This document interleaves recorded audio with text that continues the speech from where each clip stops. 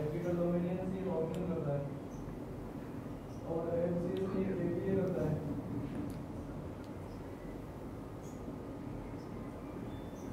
अब एफसीएस में बढ़ाने का काम कौन करेगा एपीए और डीपीए कौन करेगा हेलो फ्रेंड्स नमस्कार वेलकम एक बार फिर से आप सभी का स्वागत है डिजिटल दुनिया की इस अद्भुत प्लेटफॉर्म पर।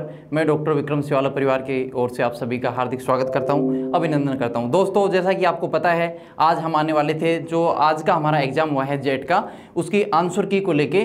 जो भी जेट में क्वेश्चन आए हैं, उन सभी सब्जेक्ट्स की हम यहाँ पर आंसर की लेके आज आए हैं। तो जो भी साथी हमारे एक्सपीरियंस थे, जो जेट के थे, वो सभी साथी हमारे से जुड़े और देखें, जो भी आपने आज का एग्ज़ाम दिया है, उसमें आपकी परफॉर्मेंस कैसी है, जो भी हम यहाँ पर आंसर करेंगे, वो सबसे सटीक और जो ऑथेंटिक सोर्स हैं, उनसे हम आपको बताएँगे। तो जो भी आंसर हैं तो आप सभी एक बार जुड़ जाइए। जो लोग जुड़ गए, वो एक बार मेरे को हेलो हाई कर दीजिए, ताकि मैं, मेरे को पता रहे आप लोग कितने जुड़ चुके हैं। तो उसके बाद अपन शुरू करते हैं आज का जो जेट का सेशन है, हमारा आंसर की या जेट के जो क्वेश्चन है। मैं एग्रीकल्चर जो है, उसको अभी स्टार्टिंग में सोल्व करेंगे। उसके बाद जो भी हमारे सब्जेक्ट एक्सपर्ट होंगे, वो दूसरे सब्जेक्ट्स को लेके यहाँ पर आएँगे। तो अभी एक बार सभी साथी एक बार जुड़ें और सभी आपके मित्रों से इस शेयर लिंक को शेयर करें, ताकि सभी हमसे जुड़ सकें। तो मित्रों, एक बार आप सभी मेरे को मैसेज करते रहे यहाँ पर, और फिर हम चर्चा शुरू करते हैं हमारे जो क्वेश्चन हैं आज के, जो जेट में आए हैं। एग्रीकल्चर के जो क्वेश्चन होंगे, उन पर हम डिस्कस करेंगे अभी। तो देखते हैं कैसा आपका परफॉर्मेंस रहा है। उम्मीद करते हैं आप अच्छे से एग्ज़ाम दिए होंगे, क्योंकि जो हमारे से जुड़े हुए मित्र थे, शिवालय क्लासेस से उनको पता है अक्सर लगभग वही क्वेश्चन जो आए हैं, जो लगभग हमने पढ़े हैं। तो आप सभी को शुभकामनाएँ देते हैं हम आने वाले समय के लिए। तो एक बार आप सभी जुड़ें, और फिर शुरू करते हैं हम आज का जो हमारा सेशन है, उसको। जुड़ चुके हैं। जय सिंह हैं, राम रमेश कुमार, गुड इवनिंग सभी को, गुड इवनिंग, नमस्कार सभी को।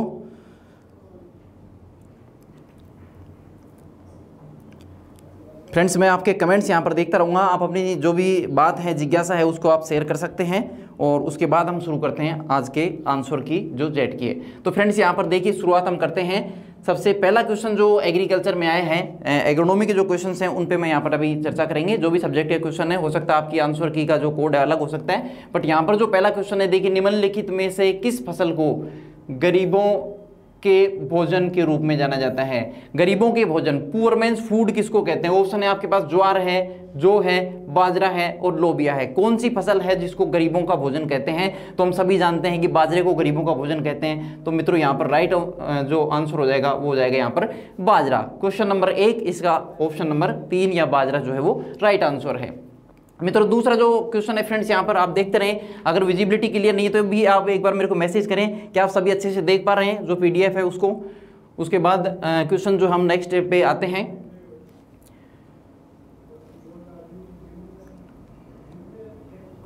चलिए क्वेश्चन नंबर दो पर आते हैं। उड़द का वैज्ञानिक नाम क्या है? मित्रों, उड़द जो है ब्लैक ग्राम जिसको हम कहते हैं, उसका वैज्ञानिक नाम क्या है? देखिए, यहाँ पर जो ऑप्शन है, सारे के सारे विग्ना रेडिटा है। एक ऑप्शन ये किसका है? ये हम जानते हैं, ये मूंग का है। दूसरा जो ऑप्शन है विग्ना मूंगो है। तो मूंगो किसका है? विग्ना मूंगो उड़द का ही तो है। तो दूसरा हो गया उड़द। तीसरा कैजान कैजान किसका है? ये अरहर का है। और चौथा जो ऑप्शन है विग्ना युंजिकुलाटा। विग्ना युंजिकुलाटा किसका है? ये जो मित्रों, चौथा जो यहाँ पर राइट आंसर जो उड़द का पूछा है तो विग्ना मूंगो यहाँ पर हो जाएगा। और ये हो जाएगा काउपी, जिसको लोबिया या चौमला कहते हैं।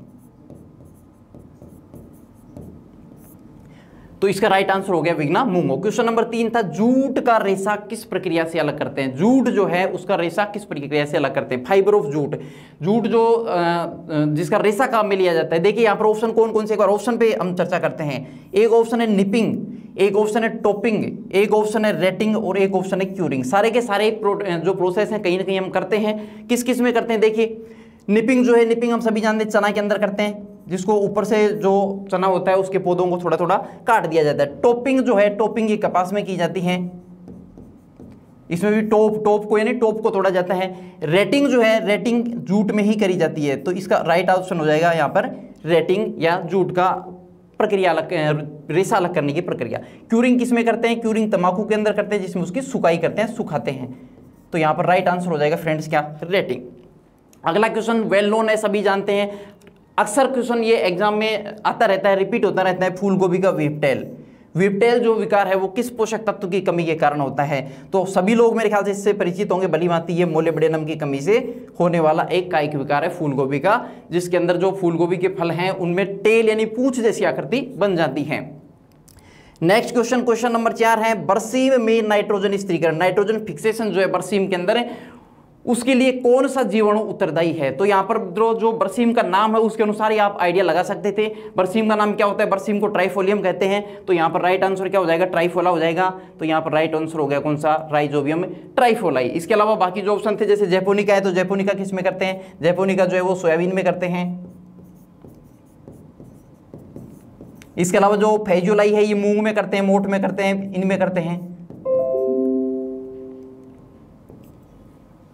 और राइजोबियम ट्राइफोलाई जो है इसका राइट आंसर हो जाएगा। तो यहाँ पर इसका राइट आंसर होगा rhizobium trifolii option number three चलिए नेक्स्ट क्वेश्चन पे आगे चलते हैं हम।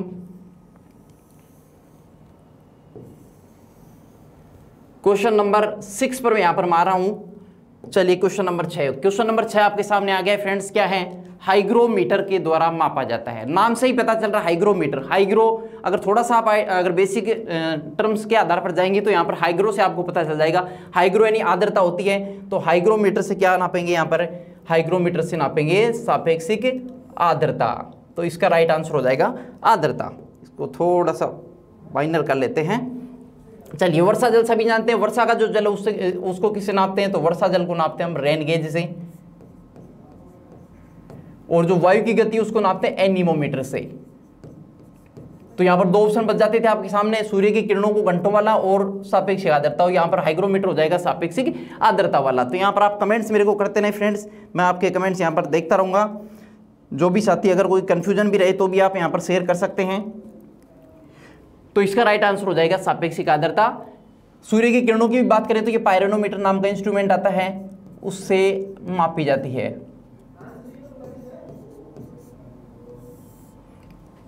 तो ये हो गया क्वेश्चन नंबर अपना सिक्स नेक्स्ट क्वेश्चन जो जेट में एग्रीकल्चर में था, वो था अधिकतम जल उपयोग दस्ता जिसको कहते हैं अपन water use efficiency water use efficiency कौन सी प्रणाली के अंदर या कौन सी सिंचाई की विधि के अंदर सबसे ज़्यादा होती है? तो यहाँ पर देखिए मोटे मोटे तौर पर अपन पढ़ते ही हैं, कौन सी सबसे ज़्यादा सिंचाई की दक्षता किसमें होती है? यहाँ पर लेकिन एक जेट और सिंचाई आ गया, शायद हो सकता है ये जेट आपने कम पढ़ा हो। जेट भी एक प्रकार का फवारा प्रणाली है, जिसके अंदर सिंचाई जो है वो चारों तरफ़, चारों दिशाओं के अंदर बोछार के रूप में ही जाती है। तो जेट जेट हो गया, फवारा हो गया बूंद बूंद हो गया और कुंड हो गया। तो उस कंडीशन में कुंड हो ही नहीं सकता। फवारा और जेट सेम ही है। तो बूंद बूंद सिंचाई जो है, यहाँ पर राइट आंसर हो जाएगा, लगभग 95 परसेंट इसकी वाटर यूज़ एफिशिएंसी है। बाकी मेथड्स की इससे काफ़ी कम है। तो इसका राइट आंसर हो जाएगा ड्रिप इरीगेशन या बूंद बूंद सिंचाई विधि। नेक्स्ट क्वेश्चन क्या है? नेक्स्ट क्वेश्चन हमारा, निम्न में से कौन सा गेहूँ मैक्रोनी के नाम से जाना जाता है? तो मैक्रोनी गेहूँ, कौन से गेहूँ को मैक्रोनी के नाम से जानते हैं? देखिए, चार गेहूँ आपके सामने, तीन गेहूँ सभी ने लगभग पढ़े हैं। ट्रीट कमेस्टिवम है जो कॉमन वीट के नाम से जाना जाता है, या रोटी वाला गेहूँ जिसको अपन कहते हैं ब्रेड वीट कह सकते हैं इसको। पूछा कौन सा, अपने से पूछा है, अपने से मैक्रोनी मैक्रोनी किसको कहते हैं? मैक्रोनी ड्यूरम को कहते हैं। तो यहाँ पर ड्यूरम हो गया मैक्रोनी वीट और डाइगोकम जो है इसको इमर वीट के नाम से जानते हैं।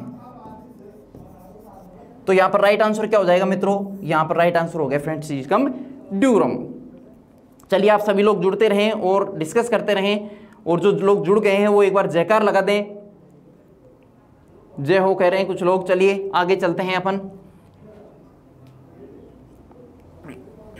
धान धान या राइस जो है, वो सेल्फ पोलिनेशन होता है, क्रॉस पोलिनेशन होता है ओफन क्रॉस पोलिनेशन होता है। इनमें से कौन सा जो है परागण जो है धान के अंदर होता है? तो हमें पता है कि गेहूँ के अंदर, धान के अंदर, जो के अंदर, इन सब के अंदर सेल्फ ही तो होता है। तो सेल्फ हो गया तो कौन सा हो जाएगा यहाँ पर?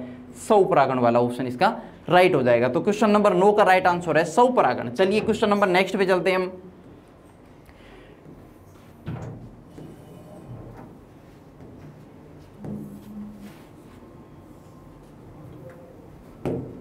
ओके डबल क्लिक करना है। ठीक है ठीक है, हो गया। क्वेश्चन नंबर नेक्स्ट जो हमारा क्वेश्चन नंबर दस, इस पे आ जाते हैं मित्रों। देखिए क्या है क्वेश्चन नंबर दस है ओस को मापने का ड्यू ड्यू जो है, उसको मापने का इंस्ट्रूमेंट कौन सा है? ये थोड़ा सा क्वेश्चन जो है अच्छा क्वेश्चन यहाँ पर आया है। ओस को मापने का यंत्र कौन सा है? अगर आप जुड़ रहे हैं तो एक बार देखो, बता, बताओ मेरे को कौन सा आप सही करके आए हैं। जो लोग जुड़ रहे हैं ओस को मापने का यंत्र या जो भी लोग हमसे जुड़ चुके हैं, वो एक बार मेरे को कमेंट्स करके क्या इसमें बता सकते हैं? ओस या ड्यू को किस इंस्ट्रूमेंट से मापा जाता है? उसके बाद हम इसमें डिस्कस करते हैं। ओस या इसको किस इंस्ट्रूमेंट से नापते हैं? देखिए, आपके सामने ऑप्शन क्या क्या है यहाँ पर? देखिए साइक्रोमीटर है। साइक्रोमीटर जो है, वो भी आर्द्रता को मापने का इंस्ट्रूमेंट है। तो इससे भी क्या मापा जाता है? इससे भी फ्रेंड्स आर्द्रता मापी जाती है। तो साइक्रोमीटर हो गया आर्द्रता वाला। थर्मामीटर हम सभी जानते हैं, तापमान को थर्मामीटर द्वारा नापा जाता है। और पायरेनोमीटर ये जो सूर्य की किरणें, उनका तरंग जो है, उनको नापा जाता है। तरंग या सूर्य की किरणों को नापा जाता है। और बच गया कौन सा? बच गया ड्रोसोमीटर तो ड्रोसोमीटर इसका हो जाएगा राइट आंसर डू या ओस को मापने का यंत्र हो गया कौन सा? Drosometer. चलिए नेक्स्ट क्वेश्चन पे आते हैं। बहुत आसान क्वेश्चन है। रेपसीड या सरसों या मस्टर्ड जो है, उसमें एक हज़ार जो बीज हैं उनका वज़न कितना होता है? तो आइडिया भी आप अगर लगाए होंगे यहाँ तो मेरे ख्याल से सही कर दिए होंगे सरसों कितना बारीक होता है उसके बीजों का भार अगर आप देखेंगे यहाँ पर देखिए बीस से तीस हो ही नहीं सकता किसी कंडीशन में। तीन से पाँच इस ऑप्शन पे आ, आ, जो है आप जा सकते थे सोचने के लिए। और सत्रह से अड़तीस भी नहीं होगा। इन दोनों में आपको अगर थोड़ा वो डाउट था तो इसमें राइट आंसर क्या हो जाएगा? तीन से पाँच ग्राम। क्योंकि बहुत बारीक बीज होता है तीन से पाँच ग्राम में लगभग हज़ार बीज जो है वो आ जाते हैं सरसों या रेपसीड या मस्टर्ड के। नेक्स्ट क्वेश्चन बड़ा ही इंपॉर्टेंट क्वेश्चन जो अक्सर एग्ज़ाम्स में पूछा जाता रहा है। क्वेश्चन है क्या मृदा में जल के नीचे की ओर गति को क्या कहते हैं? देखिए क्या क्या ऑप्शन है। ये चारों ऑप्शन यही आने वाले हमेशा अगर ये क्वेश्चन आता है तो लीचिंग लीचिंग का नाम सुना होगा। लीचिंग क्या है? लीचिंग यानी कि जो साल्ट या उपयोगी तत्व तो उनका पानी के साथ नीचे चला जाने क्या कहता है? लीचिंग कहलाता है। सीपेज जो है, सीपेज। जैसे ये डाउनवर्ड मूवमेंट यहाँ पर पूछा है, सीपेज के अंदर होरिजेंटल मूवमेंट होता है। होरिजेंटल का मतलब बगल में से पानी का रिसा होता है। जैसे जो नहरी क्षेत्र होते हैं, नहरों के आसपास जो बगल में से पानी बहता है, उसको सीपेज कहा जाता है। अब ऑप्शन बच गया यहाँ पर क्या? परकोलेशन और इनफिल्ट्रेशन तो इनफिल्ट्रेशन और परकोलेशन में थोड़ा सा बेसिक डिफरेंस है यहाँ पर। अगर डाउनवर्ड मूवमेंट हो रहा है, नीचे की तरफ़ पानी जा रहा है ज़मीन की मिट्टी में से तो वो परकोलेशन हो जाएगा। और इनफिल्ट्रेशन जो है, उसमें क्या होता है? इनफिल्ट्रेशन में जो मिट्टी का जो पानी है, उसका नीचे चले जाना इनफिल्ट्रेशन का तो परकोलेशन हो जाएगा इसका। राइट आंसर मृदा में जल का नीचे की ओर गति करना परकोलेशन इनफिल्ट्रेशन जो है वो सतह से जल का जाना। सतह से जल का। तो परकोलेशन हो जाएगा इसका राइट आंसर नेक्स्ट क्वेश्चन है मित्रों, मूंग या उड़द के द्वारा मिट्टी में कितने केजी नाइट्रोजन का फिक्सेशन किया जाता है? कितने किलो नाइट्रोजन का स्थिरीकरण किया जाता है? यहाँ पर जो ऑप्शन है 20 से 25 है 50 से 55 है पिचहत्तर से अस्सी है और सौ से एक सौ दस है। तो फ्रेंड्स यहाँ पर मैं आपको थोड़ा सा बता दूँ, यहाँ पर जो कुछ अच्छी जो ऑथेंटिक किताबें उनके अनुसार लगभग इसमें साठ पैंसठ किलो के आसपास जो है नाइट्रोजन फिक्सेशन किया जाता है। तो उसके अकॉर्डिंग हम देखें, यहाँ पर तो सत्तर से पिचासी थोड़ा ज़्यादा हो, उस कंडीशन हम इसको राइट मान सकते हैं पचास से पचपन के को। लेकिन अलग अलग बुक्स का मानना है कि इसमें सत्तर पिचहत्तर तक भी होता है, लेकिन आप इसमें पचास जो पचास से पचपन है, इसको हमें राइट मानना है। हो सकता है इसका बोर्ड क्या, या यूनिवर्सिटी क्या मानती है, उसमें देखते हैं, बाकी पचास से पचपन जो राइट आंसर इसका होना चाहिए। पुरानी पत्तियों का अंत्यसिरा क्लोरोसिस। इंटरवेनियल जो क्लोरोसिस है, वो कौन से पोषक तत्व की कमी के कारण होता है? तो इंटरवेनियल क्लोरोसिस मुख्य रूप से दो ऐसे पोषक तत्व हैं जिनसे इंटरवेनियल क्लोरोसिस होता है। कौन कौन से दो ऐसे हैं? देखिए, एक तो मैग्नीशियम ऐसा जिनसे इंटरवेनियल क्लोरोसिस होता है और एक आयरन से भी इंटरवेनियल क्लोरोसिस होता है। तो यहाँ पर ऑप्शन में मैग्नीशियम आयरन है नहीं। और दूसरा पूछा कि पुरानी पत्ती पर तो यहाँ पर सल्फ़र का नहीं पियाता है, जस्ता का नहीं, वो पुरानी पाता है, नाइट्रोजन का पुरानी नहीं पाता है, लेकिन उसमें इंटरवेनियल नहीं होता। तो उस कंडीशन में अपने आप यहाँ पर मैग्नीशियम हो गया। तो मैग्नीशियम का हो गया इंटरवेनियल क्लोरोसिस और कौन सी पत्तियों पर जो पुरानी पत्तियाँ हैं, उनके ऊपर। तो राइट आंसर हो गया इसका क्या? इंटरवेनियल क्लोरोसिस नेक्स्ट क्वेश्चन थोड़ा सा इसको अब ऊपर लेते हैं। देखिए, क्या क्वेश्चन है नेक्स्ट क्वेश्चन नंबर फिफ्टीन यहाँ पर ले लेते हैं। एजेटोबैक्टर। एजेटोबैक्टर जो है वो क्या है? सिम्बायोटिक है या फिर फ्री लिविंग है? सिम्बायोटिक का मतलब सहजीवी, साथ में एसोसिएशन उसका है या फिर मुक्त जीवी है? कौन सा है? तो यहाँ पर राइजोबियम की बात करें हम सभी जानते हैं राइजोबियम सहजीवी है और एजेटोबैक्टर मुक्त जीवी है। तो उस कंडीशन में क्या है? बैक्टीरिया सभी जानते हैं तो कवक होगा नहीं। तो इस कंडीशन में क्या हो जाएगा? मुक्त जीवी नाइट्रोजन स्त्रीकरण, बैक्टीरिया या जीवाणु। तो राइट आंसर हो जाएगा तीन नंबर का मुक्त जीवी नाइट्रोजन स्त्रीकरण। नेक्स्ट क्वेश्चन नंबर सोलह की निम्न में से कौन सा भाग बगीचा प्रबंधन के अंतर्गत है? अब तक जो क्वेश्चन आए थे वो एग्रोनॉमी के थे, सस्य विज्ञान के थे। अब क्वेश्चन नंबर पंद्रह के बाद सोलह नंबर से क्वेश्चन आ गए किसके हॉर्टिकल्चर या उद्यान विज्ञान के। चलिए सोलह नंबर के क्वेश्चन पे हम आ जाते हैं। यहाँ से हम हॉर्टिकल्चर के क्वेश्चन जो है वो शुरू करते हैं।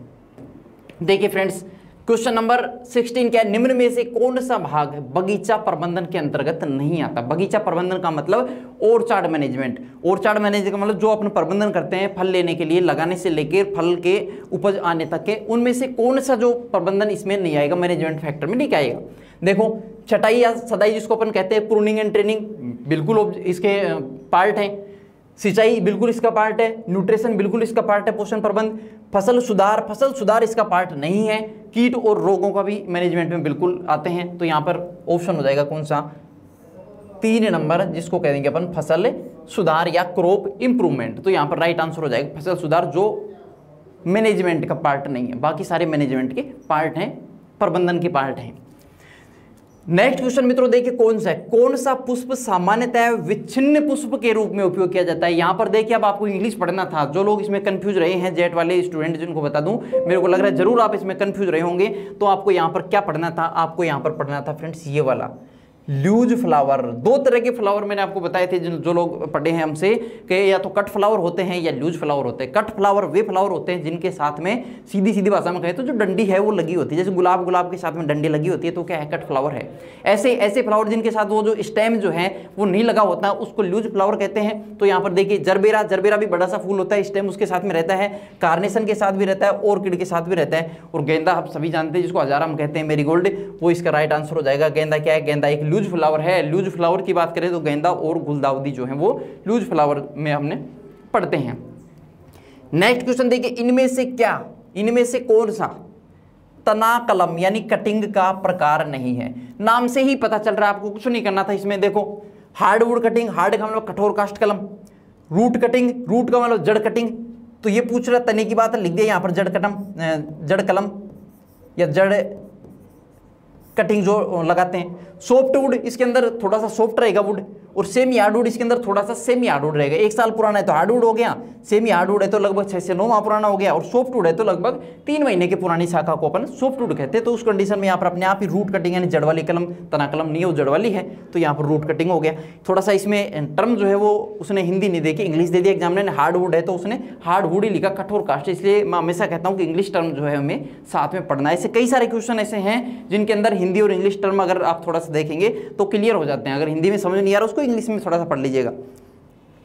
क्वेश्चन नंबर नेक्स्ट जो है 19 निम्नलिखित में से किस पीजीआर का प्रयोग पीजीआर का मतलब प्लांट ग्रोथ रेगुलेटर का प्रयोग फलों को पकाने में करते हैं। बड़ा ही सामान्य सा क्वेश्चन है, फलों को पकाने के लिए कौन सा पीजीआर काम में लेते हैं? देखिए ऑक्सीजन है। ऑक्सीजन को किसमें लेते हैं? ऑक्सीजन एपिकल डोमिनेंस में काम में लेते हैं। या यूँ कहें, फूल या फलों को ज़्यादा लाने के लिए काम में लिया जाता है। इथाइलिन है, वो फलों को पकाने के लिए काम में लेते हैं। गैसी हार्मोन है। एफसीसिक एसिड ग्रोथ को रोकने वाला हार्मोन है या वृद्धि को कम करने वाला, अवरोधक हार्मोन कह सकते हैं। और साइटोकाइनिन जो कोशिका विभाजन के काम में लिया जाता है। तो यहाँ पर राइट आंसर अपने आप ही कौन सा हो गया? इथाइलिन तो क्वेश्चन नंबर उन्नीस का राइट आंसर हो गया, इथाइलिन।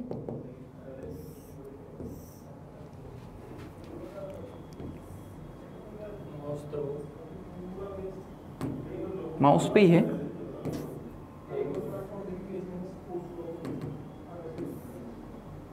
अच्छा नेक्स्ट पेज में थोड़ा सा इसमें प्रॉब्लम कर रहा है, एक बार थोड़ा देख लीजिएगा नेक्स्ट पेज में आते समय। चलिए फ्रेंड्स नेक्स्ट जो क्वेश्चन आ जाता है हमारा क्वेश्चन नंबर बीस पे, उस पर आ जाइए आप। क्वेश्चन नंबर जो बीस है आपके सामने आ गया है, अर्का रक्षक वेरायटी अर्का रक्षक एक फ़ेमस हाइब्रिड है, और किसका है? टमाटर का अर्का रक्षक है, जो कि मल्टी डिज़ीज़ रेसिस्टेंट भी है। बहुत सारी जो टमाटर की बीमारियाँ हैं, उन सबके प्रतिरोधी किस्म है ये, जिसका नाम है अर्का रक्षक। तो अर्का रक्षक किसकी वेरायटी हो गई? अर्का रक्षक वेरायटी हो गई टमाटर की। टमाटर की किस्म हो गई। ग्लैडियोलस का व्यवसायिक प्रबंधन मेरे ख्याल से बताने की आवश्यकता नहीं है। हर एग्ज़ाम में जो भी हमारे यहाँ पर बच्चे, हमारे जुड़े हुए थे स्टूडेंट्स लगभग लगभग एक दो पेपर्स में तो ज़रूर इस क्वेश्चन को आपने देखा ही होगा। तो ग्लैडियोलस का प्रोपिगेशन कैसे करते हैं? तो कोर्म से करते हैं। देखिए, यहाँ पर भी कोर्म ही लिखा, घनकंद नहीं लिखा। तो कोर्म या घनकंद एक ही बात है। इंग्लिश का वर्ड कोर्म है, हिंदी में घनकंद कह देते हैं। तो यहाँ पर कोर्म या घनकंद से ग्लैडियोलस का प्रवर्धन या नए पौधे तैयार करे जाते हैं। Next question methi. Family of fenugreek. मेथी का कुल क्या है? तो मेथी कौन से कुल से बिलोंग करती है? लेग्यूमिनोसी से बिलोंग करती है। लेकिन लेग्यूमिनोसी यहाँ पर नहीं लिखा। नाम क्या लिख दिया? नाम दूसरे लिख दिए सारे कुलों के। जैसे फेबियसी फेबियसी को क्या कहते हैं? फेबियसी को लेग्यूमिनोसी कहते हैं। एपीएससी को मेलीफेरी कहते हैं। तो यहाँ पर राइट आंसर क्या हो जाएगा? फेबियसी हो जाएगा। नाम थोड़ा सा बदल दिया है। वैसे नाम भी मेरे ख्याल से आप सब लोग जानते ही थे। नेक्स्ट क्वेश्चन है। भारत का विश्व में फल और सब्ज़ी उत्पादन में कौन सा स्थान है? तो भारत हम सभी जानते हैं, कई बार इसको डिस्कस भी करे थे पहले कि भारत जो है वो द्वितीय प्रमुख उत्पादक फल और सब्जियों में है, किसके बाद चीन के बाद तो प्रथम चीन हो गया, द्वितीय भारत हो गया। तो यहाँ पर दूसरा प्रमुख देश हो गया फल व सब्ज़ी उत्पादन में भारत। नेक्स्ट क्वेश्चन कर्तन। कर्तन का मतलब कलम जो है, कलम में जड़ने या जड़ निकालने हेतु कौन सा पीजीआर प्रयोग करा जाता है। विकास नियमन का मतलब वही होगा प्लांट ग्रोथ रेगुलेटर कौन सा काम में लेते देखिए indole three butyric acid short में लिखो इसको आई बी ए इसको कह दिया हमने I B A six benzyl जो कि एक एफसीसिक एसिड है बी ए बोलते हैं इसको। जिब्रेलिक एसिड जी थ्री है, और एफसीसिक एसिड ये भी ए बी ए है। और बी ए भी ए बी ए है। तो यहाँ पर जड़ निकालने के लिए हम सभी जानते हैं इंडोल ब्यूटारिक एसिड को काम में लेते हैं आई को काम में लेते हैं तो इंडोल ब्यूटारिक एसिड जो हो गया, इसका राइट आंसर हो गया। नेक्स्ट क्वेश्चन देखिए, बड़ा ही अच्छे से क्वेश्चन को थोड़ा सा बदल के यहाँ पर दिया है, बेर के पौधे में प्रवर्धन का मुख्य तरीका कौन सा है? यानी बेर का जो प्रोपगेशन है, वो किससे करते हैं, कौन से मेथड से करते हैं? एयर लेयरिंग जिसको हवाई दाब कहते हैं, हवाई शाखा में करते हैं, बेर में नहीं करते, हवाई शाखा के अंदर जो मोस घास लगा करके फिर जो प्रोपगेशन किया जाता है तो एयर लेयरिंग बेर में नहीं करेंगे। माउंड लेयरिंग माउंट यानी जो ढेरी बना के करते हैं, जिसको स्टोलिंग या ढेरी दाब के नाम से भी जानते हैं, वो किसमें करते हैं? वो गुआवा के अंदर करते हैं, अमरूद में करते हैं। बडिंग जो है, बेर में क्या करते हैं? बेर में जनरली या तो टी कलिकान करते हैं, टी बडिंग करते हैं, या फिर रिंग बडिंग करते हैं, जिसको छल्ला कलिकान कहते हैं। तो यहाँ पर उसने केवल बडिंग दे दिया तो बडिंग ही करेंगे। कलिकान जो है, वही करेंगे बेर के अंदर। तो राइट आंसर हो जाएगा यहाँ पर बडिंग। अगर आप लोग जुड़ रहे हैं कमेंट्स भी कर सकते हैं, मैं आपके कमेंट्स यहाँ पर देखता रहूँगा। कमेंट्स विजिबल नहीं हो रहे थे। अब मेरे पास विजिबल हुए हैं कमेंट्स सर गुड इवनिंग सभी को। Good evening budding budding okay आप कमेंट्स भी करते रहे राइट आंसर का जो भी है, अगर कोई आपका कन्फ्यूज़न है, आप वो भी यहाँ पर शेयर कर सकते हैं। हो सकता है आप कुछ अलग पढ़े हों या आप अलग करके आए हों। करना तो चलो आपकी बात है, जो भी हो सकता है राइट गलत। लेकिन यहाँ पर जो है, हम राइट आंसर यहाँ पर डिस्कस करेंगे। चलिए फ्रेंड्स नेक्स्ट क्वेश्चन पे आते हैं। Question number twenty question number twenty six twenty six हमने डिस्कस कर लिया है, okay, budding. Question number twenty seven पे आ जाते हैं हम। क्या है question number twenty seven? Twenty five हो गया, twenty six, okay. Twenty six.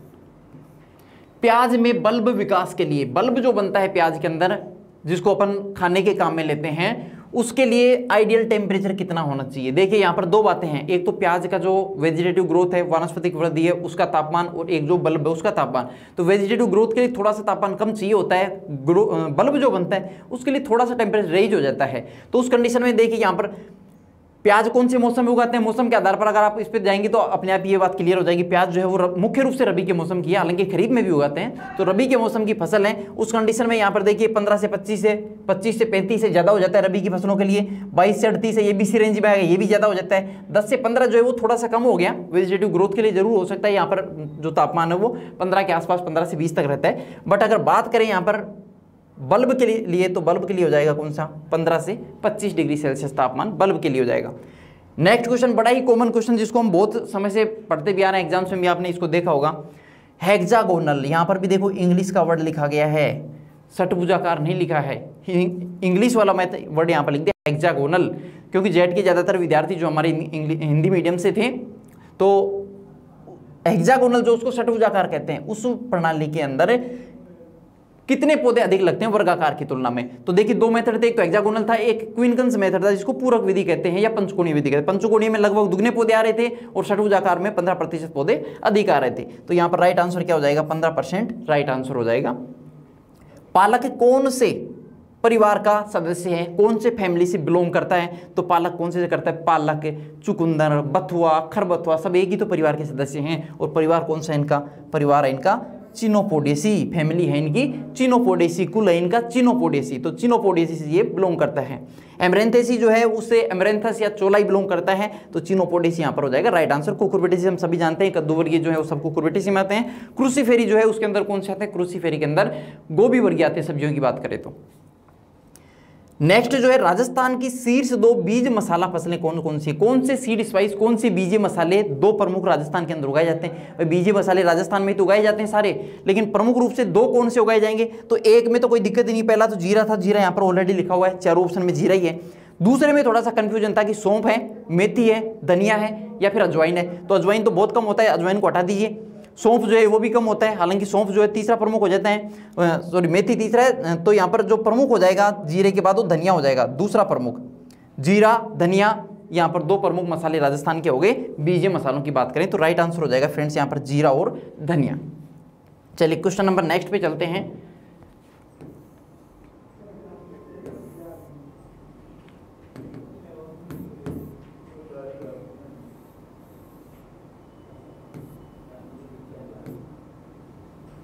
Question number next.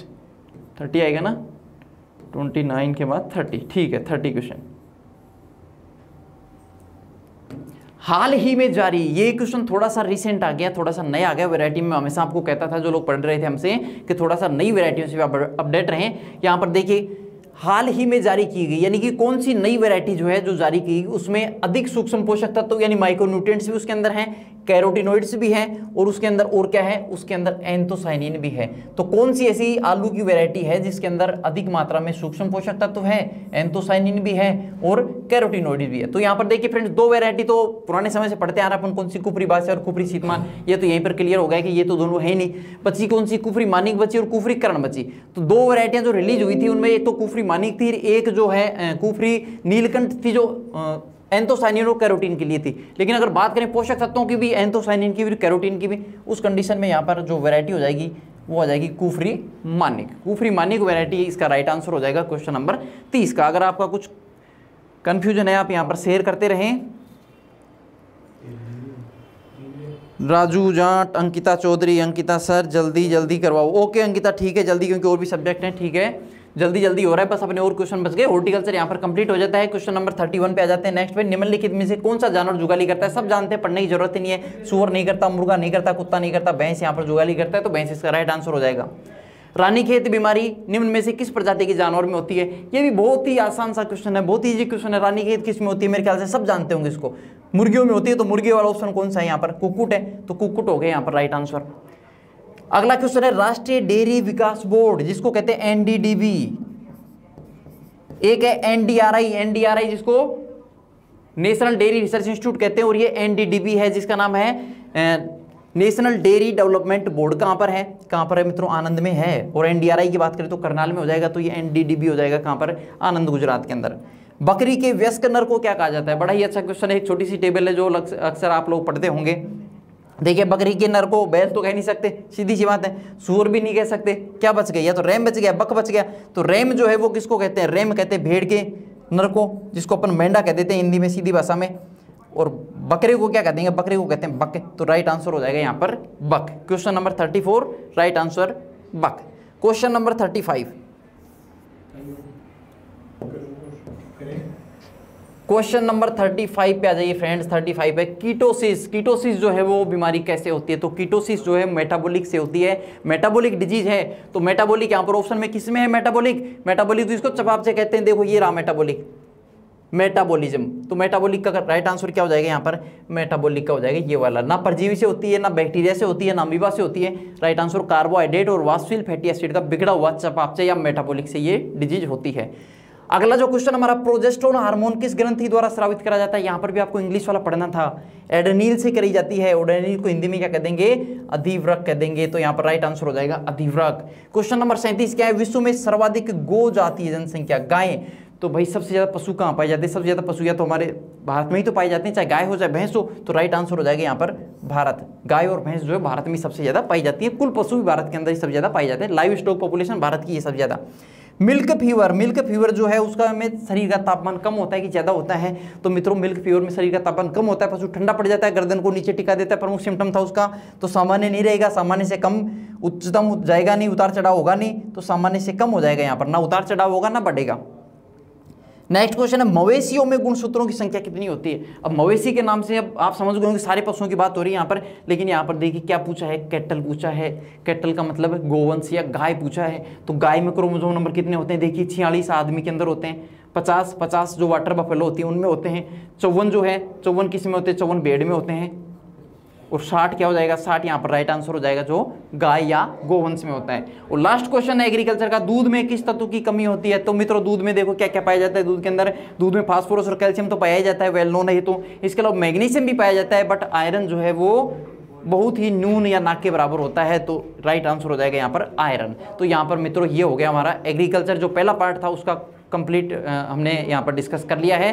दूसरा जो पार्ट होगा, वो सर बायोलॉजी का डिस्कस करेंगे तो बायोलॉजी का पार्ट अभी आपके सामने आने वाला है, और मैं उम्मीद करता हूँ आप सभी अच्छे से करके आएँगे धन्यवाद। जय जवान, जय किसान। अगर आपका कोई और शंका हो, मेरे को आप फटाक से कमेंट्स करके बताएँ यहाँ पर। जो भी मित्र जुड़े हुए हैं, lovely boy, Sanjay, Ankita, iron, ठीक है, चलिए, सभी अच्छा बता रहे हैं। अंकिता कह रहे हैं, सिक्सटी, चलिए, गुड।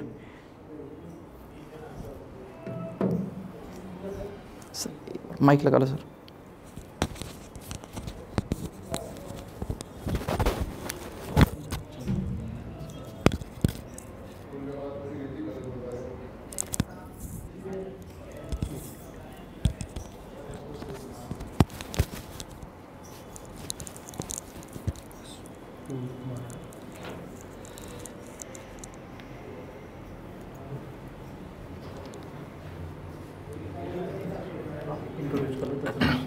सभी बच्चों का हार्दिक स्वागत है। अपने बेटा बायोलॉजी का पेपर बहुत अच्छा होगा, जेट का बहुत अच्छा शानदार पेपर आया है। जैसा आपको पढ़ाया गया था सेम एज इट इज़ वैसा का वैसा ही पेपर अपने पास में मिला है। बहुत शानदार पेपर है। तो अपन डिस्कशन करेंगे सॉल्व करेंगे इस पेपर को। देखेंगे वे कौन कौन सी क्वेश्चन है और क्या आंसर उनका अपना आंसर जाने वाला है। तो सबसे फ़र्स्ट ऑफ़ ऑल पहला जो क्वेश्चन है बेटा अपने तो पहला क्वेश्चन जो जाने वाला है, देखो इधर। बायोलॉजी में फ़र्स्ट क्वेश्चन है, प्रजाति शब्द किसने दिया? Who coined the term species तो प्रजाति शब्द जो देने वाला जो साइंटिस्ट है तो देखो ऑप्शन में अपने पास में एरिस्टोटल है कैरलस लीनियस है जॉन एंड चार्ल्स डार्विन तो फ़र्स्ट आंसर जो अपने देखो इधर. प्रजाति शब्द. प्रजाति शब्द जो देने वाला साइंटिस्ट है, वो बेटा जॉन रे कौन है बेटा? जॉन रे ठीक है? नेक्स्ट क्वेश्चन बहुत ही अच्छा क्वेश्चन था. दूसरा क्वेश्चन है, द्विबीजपत्री तने में संवहन बंडल होते हैं. तो vascular bundle in dicot stem vascular bundle in dicot stem stem बोले तो तना। तने के अंदर पूछ रहा है किसके बारे में? संवहन बंडल संवन बंडल में कौन कौन आता है बेटा? संवहन बंडल में आते हैं अपने तो जाइलम आता है और एक आता है फ्लोएम जो कि वस्कुलर सिस्टम से रिलेटेड है। तो इसमें आंसर जो जाने वाला है अपना तो देखो अपने पास में ऑप्शन है। पहला ऑप्शन है खुले संयुक्त एंडार्च बंद संयुक्त एंडार्च खुले संयुक्त एंडार्च बंद संयुक्त and exarch it means open conjoint and endarch है। Closed conjoint endarch open conjoint exarch close conjoint and exarch तो जो अपना राइट आंसर जो जाने वाला है सेकंड क्वेश्चन का राइट आंसर जो है वो है ओपन कॉजॉइंट एंड एंडार्च खुले, संयुक्त एंड एंडार्च नेक्स्ट क्वेश्चन के बारे में चर्चा करते बेटा। अगला जो क्वेश्चन है अपना, वो है देखो, कोशिका केंद्रक। इट मींस सेल में न्यूक्लियस के बारे में बात कर रहे हैं। सेल में न्यूक्लियस कोशिका केंद्रक की खोज सर्वप्रथम। तो सेल में न्यूक्लियस की डिस्कवरी पूछ रहा है बेटा, किसकी डिस्कवरी पूछ रहा है? न्यूक्लियस की डिस्कवरी। तो cell nucleus were first discovered by. तो सेल के न्यूक्लियस को डिस्कवर्ड करने वाले साइंटिस्ट कौन कौन से हैं? ऑप्शन में है Rudolf Virchow, Robert Hooke, Robert Brown and Schwann. तो अपना राइट आंसर जो हो जाएगा, वो राइट आंसर जो हो जाएगा अपना कौन सा होगा बेटा? Robert Brown. तो right answer Robert Brown. Next जो क्वेश्चन देखने वाले हैं, तीन क्वेश्चनों के आंसर अपने सामने आ चुके हैं। बहुत ही शानदार क्वेश्चन है अपने। नेक्स्ट क्वेश्चन आ गया यू कैरियोटिक यूकैरियोटिक चालीस फोर्टी एस राइबोसोम। अब फोर्टी एस सबसे पहले अपने को पता होना चाहिए कि फोर्टी एस किसकी सब यूनिट होती है। राइबोसोम टू टाइप के होते हैं। एक तो होते हैं बेटा अपने पास में सत्तर एस एक होता है अस्सी एस मतलब कि यूकैरियोटिक 40 एस राइबोसोम कंटेन की। 40 एस राइबोसोम में कौन कौन सी यूनिट्स अपने पास में प्रेजेंट होती है? तो 70 एस के पास में, अपने पास में टू सब यूनिट होती है। कौन कौन सी? एक तो 30 होती है और एक 50 एस के क्या कौन सी होती है बेटा? 50 एस नेक्स्ट इसमें आ जाएगा एक तो 60 एस और 40 तो 40 की सब यूनिट पूछ रहा है। तो राइट आंसर कौन सा जाने वाला है अपने इधर देखो। फ़र्स्ट ऑप्शन में आ गया 60 S R R N A second आता है 18 S R R N A third है 20 एंड लास्ट में ये ऑप्शन है। चारों ऑप्शन इनमें से जो राइट आंसर जो होगा अपना, वो होता है बेटा 18 S R R N A right answer ठीक है? नेक्स्ट अगला क्वेश्चन है एपोमिक्सिस किसके गठन को संदर्भित करता है? एपोमिक्सिस। तो एपोमिक्सिस मतलब किसको रेफर करता है? तो apomixis refer to formation of first है endosperm seed embryo and fruit तो देखो, एपोमिक्सिस मतलब डायरेक्टली इसमें क्या होता है कि विदाउट एम्ब्रियो सीड फॉर्मेशन सीधी सी बात, बिना भ्रूण का बीज। तो बीज इसका अपना राइट आंसर हो जाएगा। और नेक्स्ट क्वेश्चन के बारे में अपन चर्चाएँ करते हैं। बहुत ही अच्छा शानदार सा क्वेश्चन जब अपन क्लास में रहते थे तो बहुत बार अपन इसको चर्चा में रखते थे। टेस्ट में भी हर बार लगभग लगभग इकोलॉजी में क्वेश्चन आता था अपना। तो भारत में पारिस्थितिकी का जनक तो who is considered as father of ecology in India तो भारत में जो इकोलॉजी का फादर है बेटा, वो कौन सा आंसर जाएगा अपना? देखो इधर। फ़र्स्ट ऑफ़ ऑल है Ramdev Mishra Ernst Haeckel Eugene Odum, M S Swaminathan. तो भारतीय इकोलॉजी का फादर पूछ रहा है। तो भारतीय इकोलॉजी का फादर कौन हो जाएगा बेटा अपना? रामदेव मिश्रा। कौन हो जाएगा? रामदेव मिश्रा। राइट आंसर है अपना। नेक्स्ट है। अगला क्वेश्चन नोटोकोर्ड गेस्टुला की किस परत से विकसित होता है? परत का मतलब होता है यहाँ से जर्मिनल लेयर। मतलब कि जब भी कोई शिशु परिवर्धन की अवस्था सजीव में पाई जाती है तो उसके दौरान तीन परत अपने पास में पाई जाती है, जिसको अपन बोलते हैं एक को बोलेंगे एक्टोडर्म एक्टोडर्म, एक होती है अपने पास में मीजोडर्म और एक होती है, बेटा, कौन सी? एंडोडर्म। तो कौन सी परत से पूछ रहा है? आंसर, ऑप्शन अपने पास में है, mesoderm, ectoderm, endoderm and periderm. तो सबसे पहले तो नोटोकोड का गेस्टुला से उद्भवन पूछ रहा है तो उद्भवन जो आ जाएगा, वो आ जाएगा अपना मीजोडरम। कौन सा आ जाएगा बेटा? मीजोडरम। नेक्स्ट क्वेश्चन के बारे में अपन चर्चाएँ करते हैं। नेक्स्ट क्वेश्चन के बारे में नेक्स्ट निम्न में से कौन सा प्रोटोजोआ का उदाहरण नहीं है? प्रोटोजोआ के उदाहरण की बात करें प्रोटोजोआ कौन से होते हैं? जब अपन एनिमल फ़ाइल हम पढ़ रहे थे क्लास में तो अपन ने नोटोकॉर्ड के बेसिस पे एनिमल्स को टू टाइप में जब डिवाइड किया, तब अपन ने पढ़ा था कि प्रोटोजोआ का उदाहरण।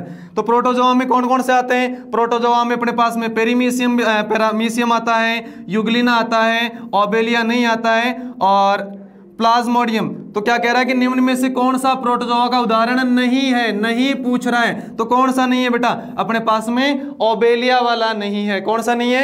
ओबेलिया वाला। तो ये क्वेश्चन बड़े ही अच्छे क्वेश्चन अपने पास में जेट में बहुत ही शानदार पेपर अपना रहा है। नेक्स्ट क्वेश्चन देखेंगे।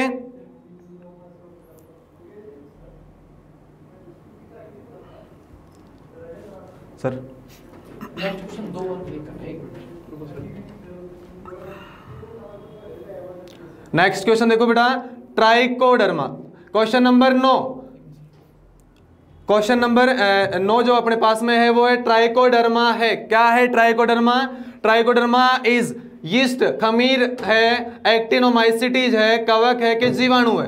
तो ट्राइकोडर्मा पूछ रहे कि ट्राइकोडर्मा पर्टिकुलरली क्या होता है? तो ट्राइकोडर्मा यदि बात करें तो सबसे फ़र्स्ट ऑफ़ ऑल ट्राइकोडर्मा जो होता है वो होता है बेटा अपने पास में फंगस कवक है बेटा, कौन है? कवक है। नेक्स्ट अगला क्वेश्चन है, देखो, भोजन में नियासिन। अब नियासिन एक रासायनिक नाम है। किसका नाम है? वाइटामिन का। जब अपन ने वाइटामिन बी बी कॉम्प्लेक्स जब पढ़ाया था, वहाँ पर अपने को बताया था नियासीन। नियासीन की कमी निम्न में से कौन सा लक्षण शो होता है? मतलब नियासीन की कमी जब हो जाती है तो नियासीन की कमी के द्वारा कौन सा लक्षण या कौन सी बीमारी या कैसे कैसे सिम्टम्स अपने पास में शो होते हैं? तो देखो दे रखा है कि deficiency of niacin in food cases which of the following symptoms कौन से सिम्टम्स शो हो जाते हैं? तो सबसे first of all pellagra pellagra इसको अपने दूसरी भाषा में लोकल लैंग्वेज में गंजापन भी कह सकते हैं बेटा। नेक्स्ट आता है ए बी ओ प्रणाली। ब्लड ग्रुप सिस्टम है अपना कौन सा? A B O system blood group O is characterised by मतलब कि रक्त समूह ओ की मेन मुख्य विशेषता क्या होती है? मुख्य विशेषता, एक स्पेशल कैरेक्टर्स पूछ रहा है इसमें। तो देखो अपने पास में ऑप्शन में क्या क्या दे रखा है? सबसे पहले एंटीजन ओ की उपस्थिति, दूसरा ऑप्शन दे रखा है एंटीजन ए और एंटीजन बी दोनों की उपस्थिति एंटीजन ए और एंटीजन बी दोनों की अनुपस्थिति एंटीजन ए और उपस्थिति। तो अपने को पता है, जब और रक्त समूह अपन पढ़ते हैं तो और रक्त समूह में क्या विशेषता होती है? एंटीजन अनुपस्थित, एंटीबॉडी उपस्थित। तो एंटीजन ए और एंटीजन बी, ये दोनों ही क्या होते हैं बेटा? अनुपस्थित होते हैं अपने पास में। ये दोनों ही एबसेंट होते हैं। तो ये राइट आंसर हो जाएगा अपना एंटीजन ए और एंटीजन बी दोनों की अनुपस्थिति। नेक्स्ट क्वेश्चन जो देखेंगे अपन, बहुत ही शानदार क्वेश्चन है। अनुपरिणिपतियाँ देखो बेटा देखो, बहुत ही शानदार अच्छा क्वेश्चन अपने पास में आया है, बड़ा अच्छा क्वेश्चन अपन ने क्लास में भी इसको बहुत बार डिस्कशन किया है, अनुपर्णी पत्तियाँ पाई जाती है। अब अनुपर्णी पत्तियाँ फैमिली दे रखी है। प्लांट फैमिली के बारे में अपन ने चर्चाएँ कर रखी है। कौन सी प्लांट फैमिली में? सोलेनेसी में फेबेसी में लिलियसी में या ब्रेसिकेसी में? तो अनुपर्णी पत्तियाँ किसमें पाई जाती है? कौन सी पत्तियाँ? अनुपर्णी। तो अनुपर्णी पत्तियाँ जो होती है, बेटा, वो लीली एसी में पाई जाती है। किसमें पाई जाती है? लीली एसी में पाई जाती है। उम्मीद करता हूँ, बहुत अच्छा पेपर गया होगा, इतना शानदार पेपर आया बायोलॉजी का, जितना आपको पढ़ाया गया था सेम एज इट इज़ उन्हीं सिलेबस में से, उसी में से ये क्वेश्चन अपने पूछे गए हैं। अगला देखो, परिरंभ में दर्डोत्तक दर्डोत्तक को क्या कहेंगे? स्क्लेरन कायमा में अर्ध चंद्राकार, आधे चाँद की जैसी संरचना पट्टियाँ पाई जाती हैं। तो semi lunar patches of sclerenchyma in pericycle are present किसमें प्रेजेंट रहेगा? Monocot stem dicot stem dicot root and monocot root तो देखो बेटा, इनमें जो अपना राइट आंसर जाने वाला है, वो जाएगा डाइकोट स्टेम, द्विबीजपत्री तने में। किसमें पाई जाती है? द्विबीजपत्री तने के अंदर ये सबसे ज़्यादा पाई जाती है। अगला देखो नेक्स्ट क्वेश्चन है अपने पास में बेटा। सबसे अधिक जीन, जीनों की संख्या पूछ रहा है। कौन से गुणसूत्र में सबसे ज़्यादा जीन अपने पास में पाए जाते हैं? तो देखो गुणसूत्रों में तो highest number of gene are found in सबसे ज़्यादा जो जीन कौन से क्रोमोजोम में प्रेजेंट रहेंगे? एक्स क्रोमोजोम में वाई में क्रोमोजोम फ़र्स्ट में क्रोमोजोम सेकंड में। तो सबसे ज़्यादा जो क्रोमोजोम में क्रोमोजोम नंबर फ़र्स्ट में गुणसूत्र एक में सबसे ज़्यादा गुणसूत्र पाए जाते हैं। किसमें बेटा? गुणसूत्र एक में सबसे ज़्यादा क्रोमोजोम पाए जाते हैं। नेक्स्ट अपन बात करेंगे अगले क्वेश्चन के बारे में। क्वेश्चन नंबर फिफ्टीन देखो बेटा। क्वेश्चन नंबर जो फिफ्टीन है, उसमें ये आ जाएगा अपने पास में। निम्न में से कौन सी कवक खाने योग्य नहीं है? नहीं खाने वाली। एक मिनट। ऊपर करना हो सर माउस लिखना है ना? ठीक है। हाँ बेटा, निम्न में से कौन सी खाने योग्य नहीं है? खाने योग्य कवक पूछ रहा है जो नहीं खा सकते हैं। अपन मोरेल्स को काम में ले सकते हैं। गेरिकस इसमें बहुत ज़्यादा टॉक्सिन की मात्रा पाई जाती है। ट्रेफेल्स को खा लेते हैं। और अस्टिलागो, ये रस्ट करता है, इसको भी अपन क्या करते हैं, अनाज के साथ में खा लेते हैं। तो राइट आंसर जो होगा, वो हो जाएगा अपना एगेरिकस। कौन सा जाएगा बेटा? एगेरिकस। अगला क्वेश्चन जो आ रहा है अपने पास में, वो है स्टार्च के एक अणु के उत्पादन के लिए। स्टार्च के एक अणु के उत्पादन के लिए कितनी बार सी थ्री चक्र सी थ्री साइकिल जिसको अपने कहते हैं कि सी थ्री साइकिल जो चलेगी तो सी थ्री साइकिल को कितनी बार अपने को रोटेट करना पड़ेगा? तो how many turn of C three cycle are required to produce one molecule of starch तो कितनी बार चलाएँगे बेटा? तो राइट आंसर देखो, दो, चार, छह, आठ तो इसको अपन छह बार कंटिन्यू करते हैं। कितनी बार कंटिन्यू करते हैं बेटा? छह बार। जब छह बार कंटिन्यू करते हैं तो छह बार चलाने पर यह प्रक्रिया अपने पास में शो हो जाती है। नेक्स्ट जो क्वेश्चन के बारे में बात करेंगे, अगला जो क्वेश्चन आ रहा है वो अपने पास में, सत्रहवा क्वेश्चन देखेंगे बेटा।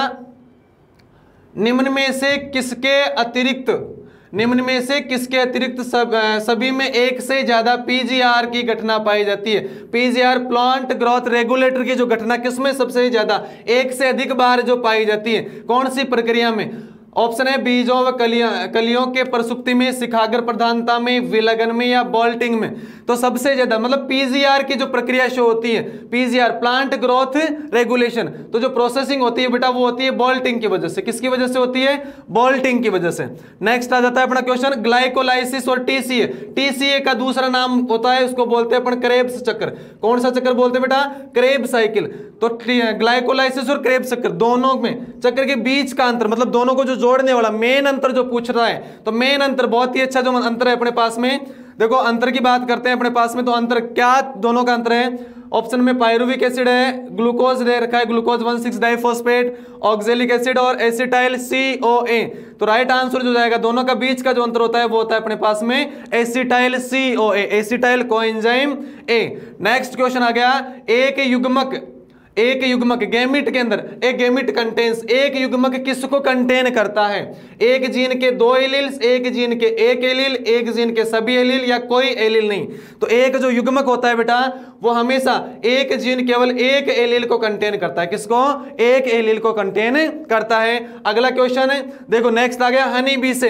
कि the workers bee the workers bee in honey bee कौम बार तो मधुमक्खी के छत्ते में वर्कर बी वर्कर बी जब अपन ने पढ़ा था, मधुमक्खी में श्रम विभाजन, जातियों का विभाजन, तब वहाँ पर क्या पढ़ा था कि वर्कर बी का जो काम होता है वर्कर बी जो होती है, वो कौन होती है? वो होती है बेटा बांझ मादाएँ. कौन होती है? बाँध माजाएँ तो अपना राइट आंसर कौन सा हो जाएगा? बाँध माजाएँ मादाएँ. नेक्स्ट क्वेश्चन जो आएगा अपने पास में, वो अगला क्वेश्चन देखो इधर.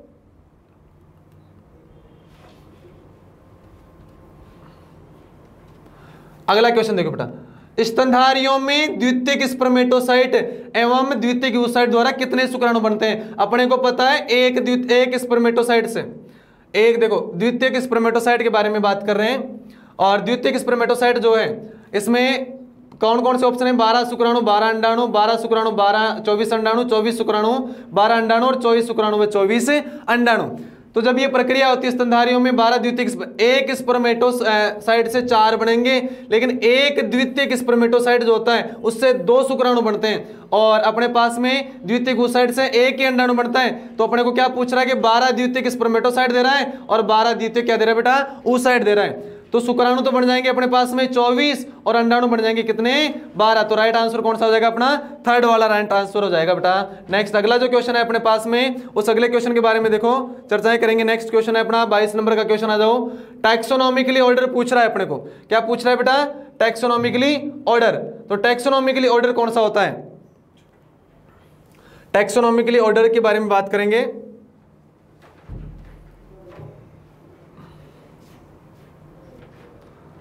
हाँ बेटा, इधर देखो। ये आ गया टेक्सोनॉमिकली ऑर्डर अपना। और टेक्सोनॉमिकली ऑर्डर के बारे में यदि बात करते हैं तो नेक्स्ट जो है अपना, इधर देखो। टैक्सोनॉमी ऑर्डर का सही क्रम राइट सीक्वेंस पूछ रहा है किसका बेटा? टैक्सोनॉमी टैक्सोनॉमी में देखो कौन कौन सी प्रक्रियाएँ?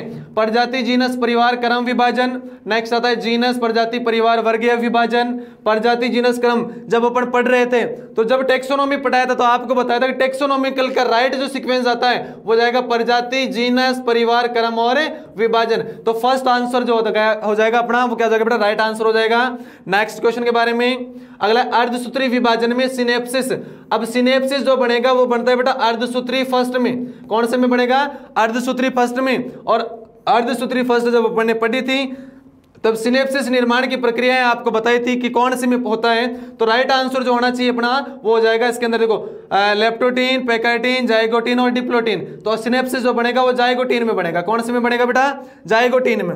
अगला क्वेश्चन जो है वो है, निम्नलिखित में से कौन सा रासायनिक रूप से ए बी ए के समान होता है? अब ए बी ए क्या है बेटा? ये है पादप हार्मोन। क्या है? पादप हार्मोन। अब इस पादप हार्मोन के बारे में इसको ए बी ए को अपन स्ट्रेस हार्मोन भी बोलते हैं।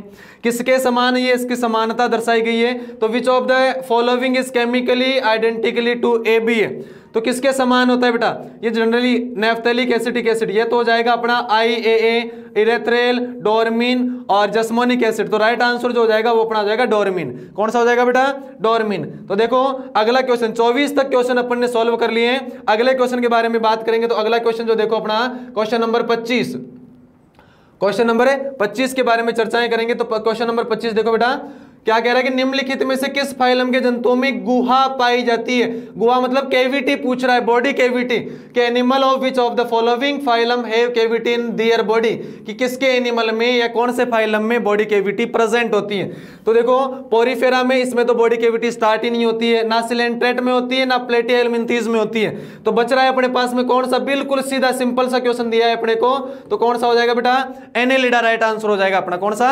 एनेलिडा नेक्स्ट में आ गया क्वेश्चन नंबर ट्वेंटी सिक्स, जल में सूक्ष्म जीवों के साथ पूर्व उपचार करने की एक प्रक्रिया, जो जूट में फाइबर बंडलों को केंद्रीय तने से अलग करती है।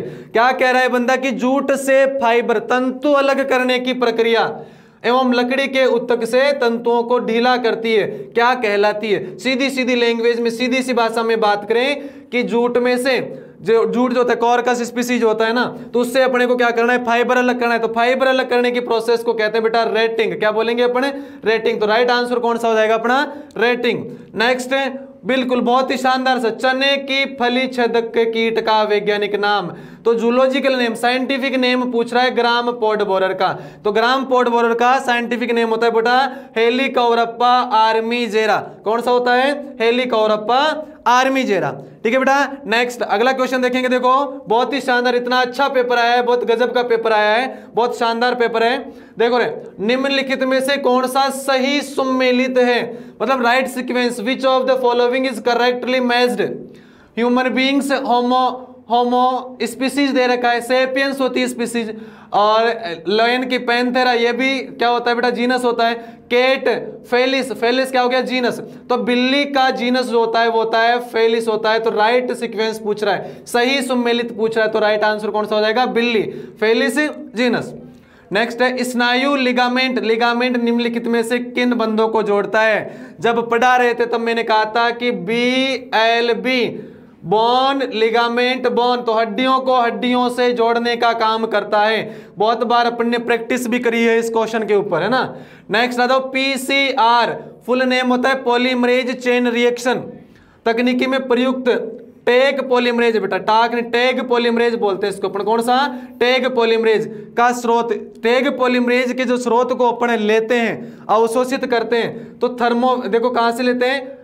तो ऑप्शन है thermophilus bacteria halophile bacteria cryophilic bacteria या मीजोफिलिक बैक्टीरिया तो टैग पीसीआर के अंदर जो पॉलीमरेज एंजाइम अपन काम में लेते हैं, वो थर्मोफिलस बैक्टीरिया से प्राप्त करते हैं। और ये आपको बताया भी था कि गर्म जल के झरनों में अधिकतर पाया जाता है। अगला देखो नेक्स्ट क्वेश्चन के बारे में बात करेंगे। पीनियल ग्रंथि में मौजूद तो देखेंगे क्वेश्चन को। इधर देखेंगे। क्वेश्चन नंबर इकतीस। क्वेश्चन नंबर थर्टी वन तो क्वेश्चन नंबर थर्टी वन में देखेंगे बेटा। पीनियल ग्रंथि मौजूद होती, पीनियल ग्लैंड प्रेजेंट इन सबसे पहले पता होना चाहिए पीनियल ग्लैंड कहाँ है बेटा? पीनियल ग्लैंड होती है अपने मस्तिष्क में। जब पढ़ा देता है बताया मस्तिष्क में ब्रेन में होती है और इसका एडजस्टमेंट कहाँ स्थित होती है? तो स्थिति जो होती है, अगर मस्तिष्क के पृष्ठीय भाग पर यह सबसे अधिकतर है। मुख्य रूप से इसका सिचुएशन पॉइंट इसका पाया जाता है। अगला बहुत ईजी सा क्वेश्चन है, पोएसी, दूसरा नाम ग्रेमिनी या घासकुल। में पाया जाने वाला फल कौन सा है? फल का प्रकार पूछ रहा है। पोम, कैप्सूल, सिलिक्यूला या कैरियोप्सिस। तो पोएसिस में जो पोएसी फैमिली होती है, इसमें जो फल का प्रकार होता है, वो होता है अपने पास में कैरियोप्सिस। कौन सा होता है बेटा? कैरियोप्सिस। तो राइट आंसर कौन सा हो जाएगा अपना? कैरियोप्सिस। नेक्स्ट क्वेश्चन के बारे में बात करते हैं। तो नेक्स्ट क्वेश्चन देखो इधर। अगला क्वेश्चन जो है, वो है अपने पास में 33 नंबर का क्वेश्चन और 33 नंबर के क्वेश्चन के बारे में ट्राइकोग्रामा प्रजाति किस पर परजीवी है? ट्राइकोग्रामा, ये किसके ऊपर परजीवी मतलब किसको अपने भोजन के रूप में ये खाने का काम करता है? तो एग को, लार्वा को, निम्फ को या गर्भ को? अंडे, लार्वा, निम्फ या गर्भ?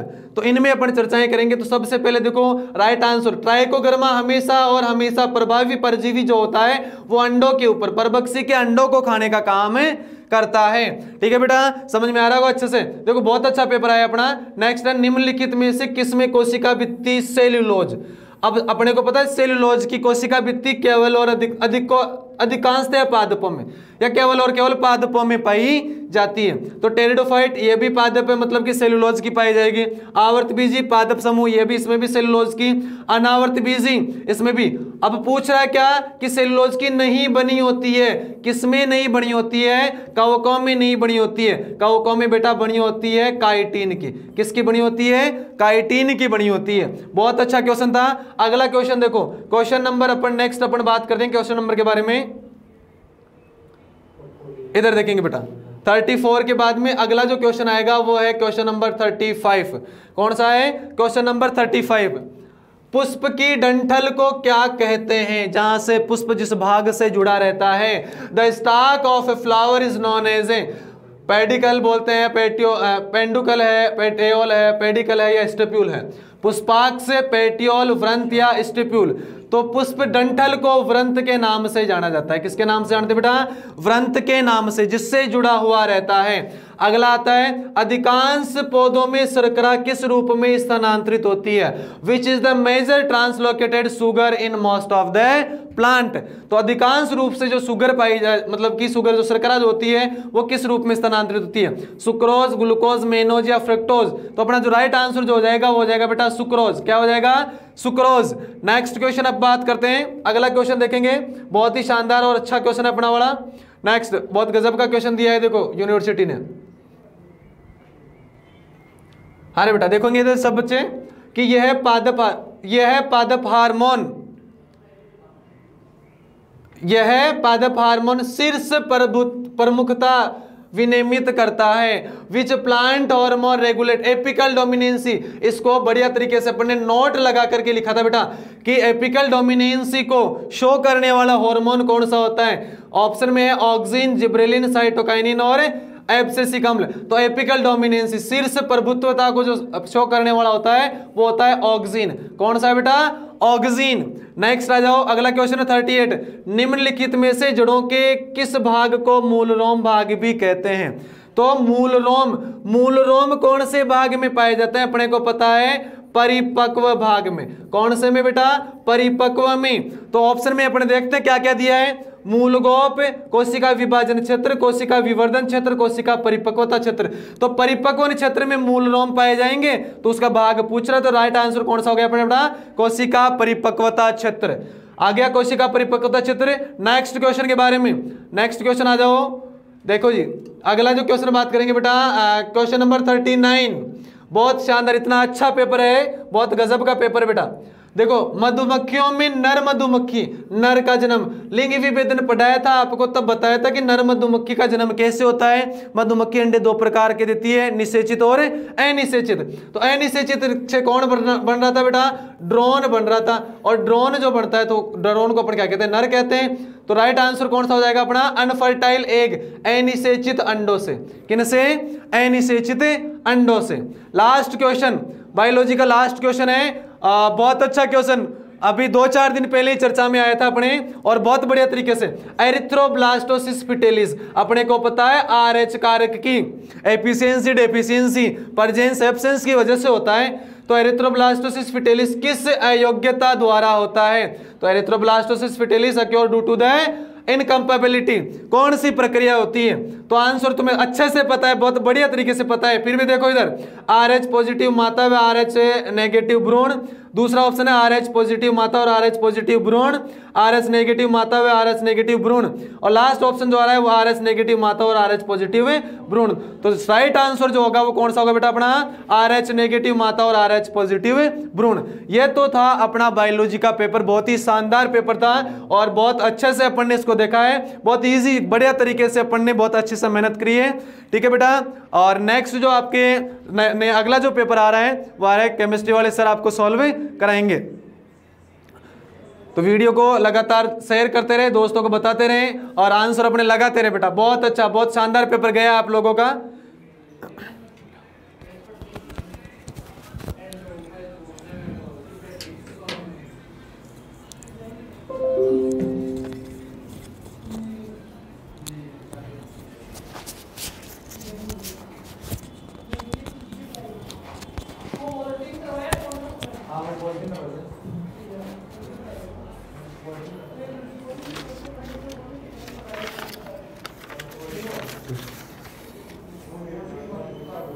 नमस्कार साथियों, स्वागत है आपका शिवालय के इस डिजिटल प्लेटफॉर्म पर। तो आज अपन शुरू कर रहे हैं इसके अंदर केमिस्ट्री का जो जेट का पेपर हुआ था, उसको अपन कंटिन्यू आगे सॉल्व करेंगे इसके अंदर। तो अगला जो अपना पहला जो क्वेश्चन है केमिस्ट्री का, बहुत ही शानदार पेपर था और मॉडरेट लेवल का पेपर था। दो चार क्वेश्चन ऐसे थे, थोड़े से डिफ़िकल्ट थे आपके लिए, बाकी क्वेश्चन बहुत सिंपल थे। पहला जो क्वेश्चन आपके पास है, एक गैसीय मिश्रण के अंदर, एक गैसीय मिश्रण में वज़न के अनुसार एक अनुपात चार के अनुपात में ऑक्सीजन और नाइट्रोजन का अनुपात दे रखा है। वज़न के अनुसार नाइट्रोजन ऑक्सीजन और नाइट्रोजन का O2 और आपके पास N2 का रेशियो दिया हुआ वन बाई फोर आपको ये बताना है इसके अंदर की अणुओं की संख्या कितनी होगी? ये वन बाई फोर दिया हुआ वज़न के अनुसार वेट के अकॉर्डिंग तो अगर आप इसका मास इसका अगर आप एम मानते हो तो नाइट्रोजन का मानना पड़ेगा आपको फोर एम तो जब आप इसके अंदर मोलों की संख्या निकालोगे तो मोल जब आप नाइट्रोजन के निकालोगे नाइट्रोजन के मोल। तो नाइट्रोजन के मोल आएँगे आपके पास फोर एम डिवाइड बाई अट्ठाईस, और इसी प्रकार से ऑक्सीजन के मोल आएँगे आपके पास एम बटा आपके पास बत्तीस। सीधा आपको रेशियो पूछा है, जितने मोलों की संख्या है, उतने ही इनके अणुओं का अनुपात होगा। तो आप इन दोनों का रेशियो निकाल सकते हैं। पहले किसका पूछा, ऑक्सीजन का, और उसके बाद नाइट्रोजन का। मतलब एम बाई थर्टी ऊपर, और नीचे आपके पास फोर बाई आपके पास ट्वेंटी एट। तो आपके पास आंसर आ जाएगा एक बटा बत्तीस अनुपात आपके पास आपके पास कितना आ जाएगा? ऊपर चला जाएगा 28 और नीचे रह जाएगा आपके पास चार। तो आंसर आ जाएगा सात अनुपात आपके पास बत्तीस। नेक्स्ट क्वेश्चन आपके पास पाँच पॉइंट छः लीटर की गैस है एसटीपी के ऊपर और उसका वज़न दिया हुआ है आठ ग्राम। आपको ये बताना है कि इस गैस का वेपर डेंसिटी वाष्प घनत्व कितना है? तो वेपर डेंसिटी जो होती है वाष्प घनत्व, ये होता है आपके पास मोलिकुलर वेट डिवाइड बाय आपके पास में टू ये होती है। तो अगर आपके पास पाँच पॉइंट छः लीटर गैस का वॉल्यूम आपके पास बाहर जो है वो आठ ग्राम है तो मैं अगर बात करना चाहूँ कि बाईस पॉइंट चार लीटर गैस के अंदर आपके पास कितना ग्राम होगा, क्योंकि मोलर मास जब आप निकालते हो, एक मोल के अंदर बाईस पॉइंट चार लीटर होता है। तो जब यहाँ से आप निकालोगे कि पाँच पॉइंट छः लीटर के अंदर, अगर आपके पास आठ ग्राम है, इसका मतलब बाईस पॉइंट चार लीटर के अंदर कितनी हो गई है? आठ डिवाइड बाई पाँच पॉइंट छः इंटू बाईस पॉइंट आपके पास में चार। जब सोल्व करोगे आप इसको तो आएगा आपके पास बत्तीस ग्राम। बत्तीस ग्राम जो है, इसका मोलर मास आया है, और मोलर मास या molecular weight divide by two करोगे तो आंसर आ जाएगा आपके पास सिक्सटीन इसका। नेक्स्ट क्वेश्चन के ऊपर मैथेन दी हुई है एथिन दी हुई है, और एथाइन दिया हुआ है। आपको इसके अंदर एस परसेंट करेक्टर इंग्लिश में ज़रूर पढ़ना था कहीं इसके अंदर कंफ्यूज हो जाते हैं कि एस परसेंट एस करेक्टर क्या लिखा हुआ है। तो इंग्लिश में बिल्कुल स्पष्ट लिखा हुआ था आपके पास, ये लिखा हुआ एस परसेंट करेक्टर आपके पास, वो कितना है आपके पास? तो वहाँ से देख करके बताना था मेथिन जो है वो आपके पास सी होता है, जिसमें संकरण आपके पास एस है, जिसमें सल्फ़र पच्चीस परसेंट है। दूसरा आपके पास एथिन है और एथिन में हर कार्बन का जो हाइब्रिडाइजेशन है, संग्रहण जो है, वो आपके पास sp2 एंड sp2 है और sp2 के अंदर 33 परसेंट और उसके बाद एथाइन आपके पास, ये सी एच ट्रिपल बॉन्ड आपके पास सी एच हाइब्रिडाइजेशन sp संकरण इसका मतलब 50 परसेंट। ऑप्शन पहला बिल्कुल सही है। एच ओ एच आप H O P O three minus का टू खूब बार बताया, आपको एग्ज़ाम से पहले भी कि इसके ऊपर हंड्रेड वन परसेंट क्वेश्चन आएगा। इसके ऊपर 101 परसेंट ऐसा क्वेश्चन आएगा और क्वेश्चन आया है A O H O P O three minus two इसका संयुग्मी अम्ल बताना है। संयुग्मी अम्ल इसका कॉन्जुगेट एसिड बताना है तो मैंने कहा था कि जब आपसे ये पूछे इसका कॉन्जुगेट एसिड क्या होगा, संयुग्मी अम्ल तो हमें ये सोचना है, इसका मतलब खुद क्या है ये बेस और बेस का काम होता है प्रोटोन एक्सेप्ट करने का एच प्लस लेने का। तो ये प्रोटोन जब लेगा आपके पास तो ये बना जाएगा H two P O three आपके पास माइनस नेक्स्ट क्वेश्चन आपको पूछा है कि 100 एम आपके पास और 0.2 मोलर एस टू एस के। 100 एम के अंदर 0.2 मोलर एनिवच मिलाया जाता है। तो ये सॉल्यूशन की नेचर बतानी है कि एसिडिक होगा बेसिक होगा या न्यूट्रल होगा। तो आप मिलीमोल्स यहाँ पे निकाल सकते हो। तो यहाँ से मैं इसको पहले मोलरिटी को नॉर्मेलिटी में कन्वर्ट करूँगा। नॉर्मेलिटी में जब इसको कन्वर्ट करूँगा तो normality equal to molarity into n factor relation में बहुत अच्छे से पता है। एस टू एस का एनफेक्टर दो होता है। इसका मतलब ज़ीरो पॉइंट दो इंटू आपके पास कितना दो? ये तो ज़ीरो पॉइंट चार आ गया आपके पास एन वन एन टू आपके पास आ जाएगा कितना? ज़ीरो पॉइंट दो। जब एन वन वी वन करोगे आप लोग, ज़ीरो पॉइंट चार को सोचे तो आपके पास आएगा, आपके पास चालीस। और एन टू वी टू जब आप करोगे तो आपके पास आएगा बीस। चालीस किसका आया? एसिड का। इसका मतलब दोनों को जब मिलाओगे तो सॉल्यूशन का जो नेचर होगा वो एसिडिक होगा। पहला ऑप्शन बिल्कुल सही है इसका। आगे है पोटेशियम के साथ। देखो, ये जो आपके पास क्वेश्चन है, ये क्वेश्चन आपके पास सॉलिड स्टेट का है, ठोस अवस्था का है। हर बार इस चैप्टर से क्वेश्चन आता है। एक क्वेश्चन पक्का आता है, हर बार। आपके सिलेबस में ये मेंशन किया हुआ नहीं है सॉलिड स्टेट ठोस अवस्था, लेकिन आपके एग्ज़ाम में लगातार तीन साल से सॉलिड स्टेट का क्वेश्चन आ रहा है। पिछली बार भी आया था। यहाँ पे लिखा हुआ या लिखा हुआ आपके पास, शरीर आपके पास केंद्रित। यहाँ पर लिखा हुआ है शरीर केंद्रित। शरीर केंद्रित का मतलब होता है काय केंद्रित। काय केंद्रित। बीसीसी और बता दूँ, पोटेशियम का जो स्ट्रक्चर होता है, पोटेशियम का वो होता है बीसीसी बॉडी सेंटर्ड क्यूबिक तो ऑप्शन नंबर दो जो है, वो इसका बिल्कुल करेक्ट आंसर जाएगा। आपके ये सिलेबस का पार्ट नहीं था ये क्वेश्चन ये सॉलिड स्टेज से आया हुआ है। नेक्स्ट क्वेश्चन के ऊपर चलते हैं। अगला जो क्वेश्चन है, जिसके अंदर ईथर का फॉर्मेशन हो रहा है और ईथर का फॉर्मेशन किससे हो रहा है? ये आपके पास सोडियम एथोक्साइड और एथिल ब्रोमाइड से। और इससे ईथर का जब फॉर्मेशन होता है तो रिएक्शन बार बार हटाई थी। एग्ज़ाम से पहले बार बार ये रिएक्शन जितने मैं आपको बता रहा हूँ, ये क्लासरूम अपनी जो ऑफलाइन क्लास होती है, वहाँ पर एक एक रिएक्शन को मैंने याद करवाया है। इसका रिएक्शन का नाम टेस्ट में कई बार दिए इसका नाम है विलियमसन संश्लेषण। नेक्स्ट क्वेश्चन के ऊपर चलते हैं। ये क्वेश्चन थोड़ा सा आपके लिए टफ था, मैं मानता हूँ इस चीज़ को। ये जो क्वेश्चन है एक मात्र और एक जो पहले बताया, वो आपके सिलेबस का पार्ट नहीं था। ये जो क्वेश्चन है, वो थोड़ा सा आपके पास टफ है। आपको ये पूछा है कि अधिकतम डायपोल मोमेंट मैक्सिमम दिदुरो आगुण जो है, वो किसका होगा? इसका जो राइट आंसर जाएगा, वो ऑप्शन आपके पास कौन सा जाएगा? इसके अंदर दो नंबर जाएगा। इसका राइट आंसर आपके पास कौन सा जाएगा? दो नंबर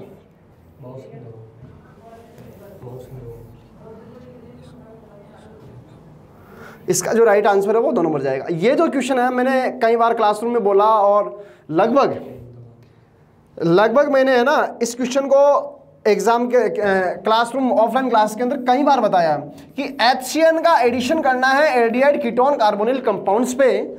तो पीछे भी कई बार ये रिएक्शन आई हुई एग्ज़ाम में बहुत बार आई हुई है रिएक्शन ये। इसका जी आपके पास कार्बोनिल कंपाउंड है और कार्बोनिल कंपाउंड्स के ऊपर जब एचसीएन का आप एडिशन करते हो तो इसके ऊपर माइनस और यहाँ प्लस और ये एच प्लस और ये C N minus C N यहाँ इस कार्बन पे टेक करता है और एच यहाँ पर ओ के ऊपर। यहाँ एडिशन होता है और ये जो एडिशन है, ये है न्यूक्लियोफिलिक एडिशन रिएक्शन नाबिक्स नहीं योगात्मक अभिक्रिया, और यहाँ लिखा हुआ है न्यूक्लियोफिलिक आपके पास जोड़। इंग्लिश के अंदर पढ़ना बहुत आसान था, क्योंकि कहीं हिंदी के अंदर कन्फ्यूजिंग वर्ड्स आ रहे कहीं कहीं जगह तो आपको इंग्लिश में देखना चाहिए था, लिखा हुआ है न्यूक्लियोफिलिक एडिशन रिएक्शन तो राइट आंसर जाएगा ऑप्शन नंबर तीन।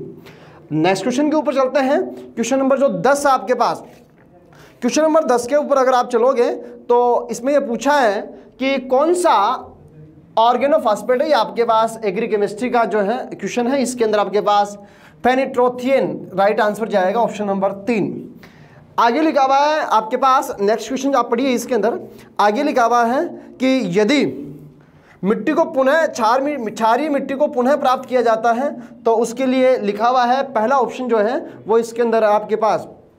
पहला ऑप्शन पहला ऑप्शन जो आपके पास मिट्टी को छारी किया जाता है, इसके अंदर राइट आंसर जो जाएगा जिप्सम को आपके पास मर्दा शोधन के रूप में प्रयोग करके, ये आपके पास एग्री केमिस्ट्री का क्वेश्चन है। क्वेश्चन नंबर आपके पास 11 नेक्स्ट क्वेश्चन के ऊपर चलते हैं। अगला जो क्वेश्चन है अपने पास नेक्स्ट क्वेश्चन के ऊपर क्वेश्चन नंबर 12 क्वेश्चन नंबर 12 जो है,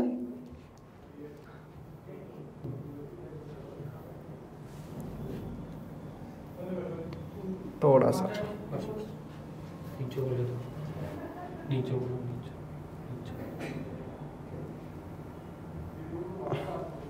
क्वेश्चन नंबर बारह पर देखिए आप। हाँ अब बिल्कुल क्लियर दिख रहा होगा आपको। क्वेश्चन नंबर बारह। यदि मिट्टी का पीएच इसमें तो राइट आंसर जाएगा आपके पास जिप्सम को मर्दा संशोधन के रूप में प्रयोग करना आपके पास। बारह पे, यदि मिट्टी का पीएच 8.5 से अधिक बढ़ जाता है तो पौधे पर क्या प्रभाव पड़ेगा? यदि मिट्टी का पीएच 8.5 से अगर ज़्यादा हो जाता है तो पौधे के ऊपर क्या प्रभाव पड़ेगा? तो इसका राइट आंसर आ जाएगा, पोषक तत्वों का अवशोषण कम हो जाएगा। ऑप्शन नंबर एक। आगे वाले क्वेश्चन पे चलते हैं, फिर से केमिस्ट्री का क्वेश्चन आया तीन चार क्वेश्चन आपके पास एग्री केमिस्ट्री के थे। क्लोरीन में निम्न में से इसमें प्लस पाँच ऑक्सीकरण होता है। तो आप देखिए S C L O three लिखाया हुआ है, और जब आप निकालोगे क्लोरीन को एक्स मानोगे हाइड्रोजन का प्लस एक एक्स और ऑक्सीजन का माइनस छः इक्वल टू ज़ीरो तो एक्स इक्वल टू प्लस पाँच। ऑप्शन नंबर तीन जो है, इसका राइट आंसर होगा। एक्स एफ़ सिक्स के पास संकरण बताना है क्या होगा। तो जिनोन के पास जो है, वो आपके पास आठ इलेक्ट्रॉन होते हैं वैलेंस सेल के अंदर। आठ इलेक्ट्रॉन होते हैं, एक इसके ऊपर लोन पेयर अभी प्रेजेंट है। तो छह तो बॉन्ड बन गया और एक लोन पेयर आ गया टोटल सात हो गए। मतलब सिग्मा बॉन्ड और लोन पेयर को काउंट किया तो टोटल नंबर आपके पास सात आया और सात जब आता है तो हाइब्रिडाइजेशन हो जाता है S P three D three phosphorus की आगे वाले क्वेश्चन के अंदर अपने पास फास्फोरस की परमाणुकता आपको बतानी है। फास्फोरस की परमाणुकता फास्फोरस की परमाणुकता हमें बतानी है। कई बार लिखाया हुआ है ये, अपनी जो ऑफलाइन क्लास होती है, उसके अंदर ये लिखाया हुआ है, फास्फोरस की परमाणुकता जब थर्मोडाइनमिक्स पढ़ाई जाती है तो वहाँ मैंने लिखाया था कि फास्फोरस को हमेशा पी फोर की फॉर्म में लोगे। पी फोर के रूप में होता है आपके पास फास्फोरस। पी फोर के रूप में फास्फोरस होता है और फास्फोरस की परमाणुकता जो आपके पास चार होगी। सल्फ़र की अगर पूछता है तो सल्फ़र की आपके पास आठ होती है। ध्यान रखना इस चीज़ को। नेक्स्ट क्वेश्चन के ऊपर चलते हैं अपन। 16 नंबर के अंदर निकल को परिष्कृत करने के लिए जिस प्रक्रम का नाम मान प्रक्रम था, मान प्रक्रम के अंदर कार्बन, आपके पास जो कार्बन मोनोऑक्साइड है, वो काम में ली जाती है। ऑप्शन नंबर दो जो है, वो बिल्कुल करेक्ट आंसर है। नेक्स्ट क्वेश्चन के ऊपर चलते हैं। ये डेफिनेशन सीधी लिखाई हुई एक फेरी क्लोराइड को।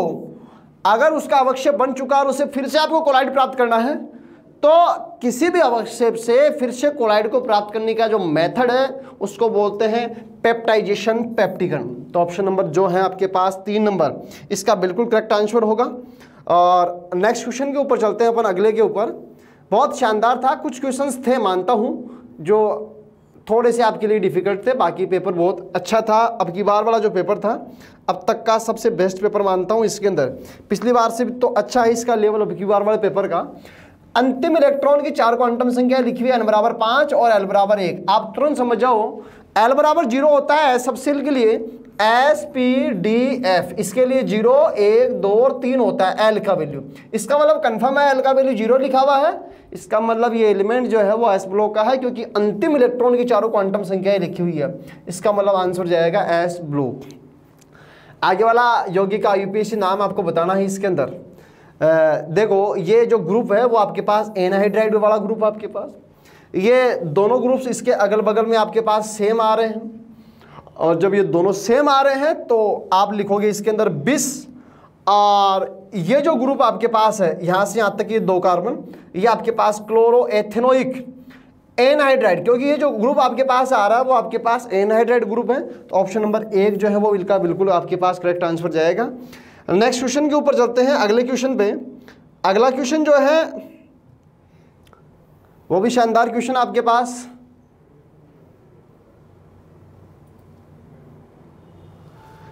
इस क्वेश्चन के अंदर अगर आप देखोगे तो यहाँ लिखा हुआ आपके पास A L C L three A L C L three की उपस्थिति में मिथाइल क्लोराइड ये आपके पास मिथाइल क्लोराइड है C S three C L C S three आपके पास सी एल और ये बेंजीन है। बेंजीन के साथ क्रिया करके क्या बनाएगा ये?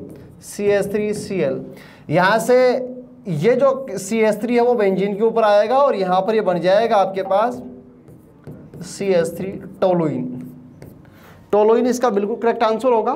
कौन सा खनिज अम्लीय परिस्थितियों में उपलब्ध नहीं है? शानदार क्वेश्चन है।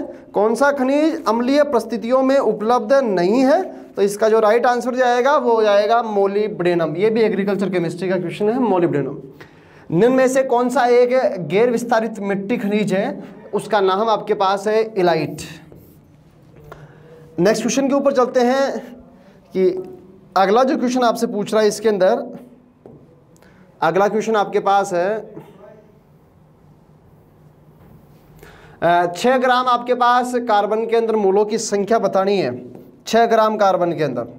तो छः ग्राम कार्बन के अंदर अगर आपको मोलों की संख्या बतानी है तो मोलों की संख्या weight by molecular weight molecular weight carbon का बारह होता है तो और वेट आपको गिवन है क्वेश्चन के अंदर सिक्स ग्राम तो सिक्स बाई ट्वेल्व जब आप करोगे तो ज़ीरो पॉइंट फाइव आपके पास आएगा। बहुत आसान क्वेश्चन है, निकल का परमाणु क्रमांक अगर अट्ठाईस है तो इसका इलेक्ट्रॉनिक कॉन्फ़िगरेशन क्या होगा तो आप इसको जोड़ के देख लीजिए। इसमें टोटल आपके पास 28 इलेक्ट्रॉन है, ये आपके पास इलेक्ट्रॉनिक कॉन्फ़िगरेशन होगा। नेक्स्ट क्वेश्चन के ऊपर चलते हैं। विद्युत ऋणता का सही क्रम क्या होगा? इलेक्ट्रॉन नेगेटिविटी का करेक्ट ऑर्डर क्या है इसके अंदर? देखो, सबसे ज़्यादा पूरी पीरियडिक टेबल में फ्लोरीन की चार होती है ऑक्सीजन की तीन पॉइंट पाँच होती है, और क्लोरीन और नाइट्रोजन की अप्रोक्सीमेट तीन होती है। तो सबसे ज़्यादा फ्लोरीन ऑक्सीजन उसके बाद क्लोरीन और उसके बाद आपके पास ब्रोमीन ऑप्शन नंबर दो जो है, इस क्वेश्चन का बिल्कुल राइट आंसर होगा। नेक्स्ट क्वेश्चन के ऊपर चलते हैं। अगला जो क्वेश्चन है, अगले क्वेश्चन के अंदर पूछ रहा है ये कि किसकी आकृति आपके पास? पिरामिडीय हैं।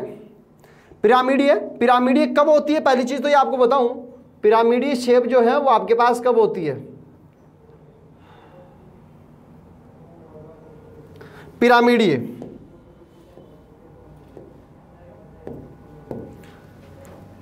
पिरामिडीय, जब हाइब्रिडाइजेशन संकरण sp3 होता है और एक लोन पेयर वहाँ प्रेजेंट होता है PCl3 के साथ ऐसा ही हो रहा है। ये PCl3 है, ये फास्फोरस क्लोरीन क्लोरीन और ये क्लोरीन और यहाँ लोन पेयर है। तो इसकी जो आकृति है, वो आपके पास पिरामिडीय है पिरामिडल NH3 अमोनिया का भी आया था पिछली बार क्वेश्चन उसके अंदर भी ऐसा ही था। नेक्स्ट क्वेश्चन है Cl2 में क्लोरीन का ऑक्सीडेशन नंबर कितना है? तो आप आसानी से निकाल सकते हो, दो एक्स माइनस का 14 इक्वल टू आपके पास ज़ीरो एक्स इक्वल टू आपके पास प्लस का सात। ऑप्शन नंबर एक इसका बिल्कुल सही आंसर होगा। नेक्स्ट क्वेश्चन के ऊपर जब चूने के पानी के, चूने के अंदर पानी डाला जाता है तो इसकी बिक्रिया कौन सी होती है? जितने भी क्वेश्चन आप यहाँ देख पा रहे हो, एक दो क्वेश्चंस के अलावा सारे के सारे क्वेश्चंस आपके नोट्स के अंदर से हु आपको मिल जाएँगे। क्वेश्चन ये लिखाया हुआ है कि चूने के पानी के अंदर, चूने के अंदर जब पानी डाला जाता है तो अभिक्रिया कौन सी होती है? ये आपके पास बिना बुझा चूना होता है और इसके अंदर जब आप पानी डालते हो तो आपने घर में देखा भी होगा कि जब आपके पास कलर किया जाता है, पेंटिंग की जाती है, तब उस कड़ी के अंदर जब पानी डालते हैं तो उष्मा बाहर निकलती है। वो जो कड़ी है वो कैल्शियम कार्बोनेट ही है और इसके अंदर पानी डालोगे तो कैल्शियम हाइड्रोक्साइड बनेगा और इसका नाम होता है बिना बुझा चूना और ये होता है बुझा हुआ चूना। तो नीचे यही क्वेश्चन लिखा हुआ आ गया दोबारा से। बस थोड़ा सा अगर ये आपको पता होता तो नीचे वाला भी बिल्कुल सही आंसर जाता। तो अभिक्रिया जो उसमें छेपी होगी, फिर आगे लिखा हुआ बुझे हुए चूने का फॉर्मूला क्या होता है? तो सबको पता होता है कि कैल्शियम हाइड्रोक्साइड जो है, वो आपके पास बुझे हुए चूने का राइट आंसर होगा, आपके पास फॉर्मूला बूपर पट्टी में सर्वाधिक मात्रा में पाए जाने वाला तत्व कौन सा है?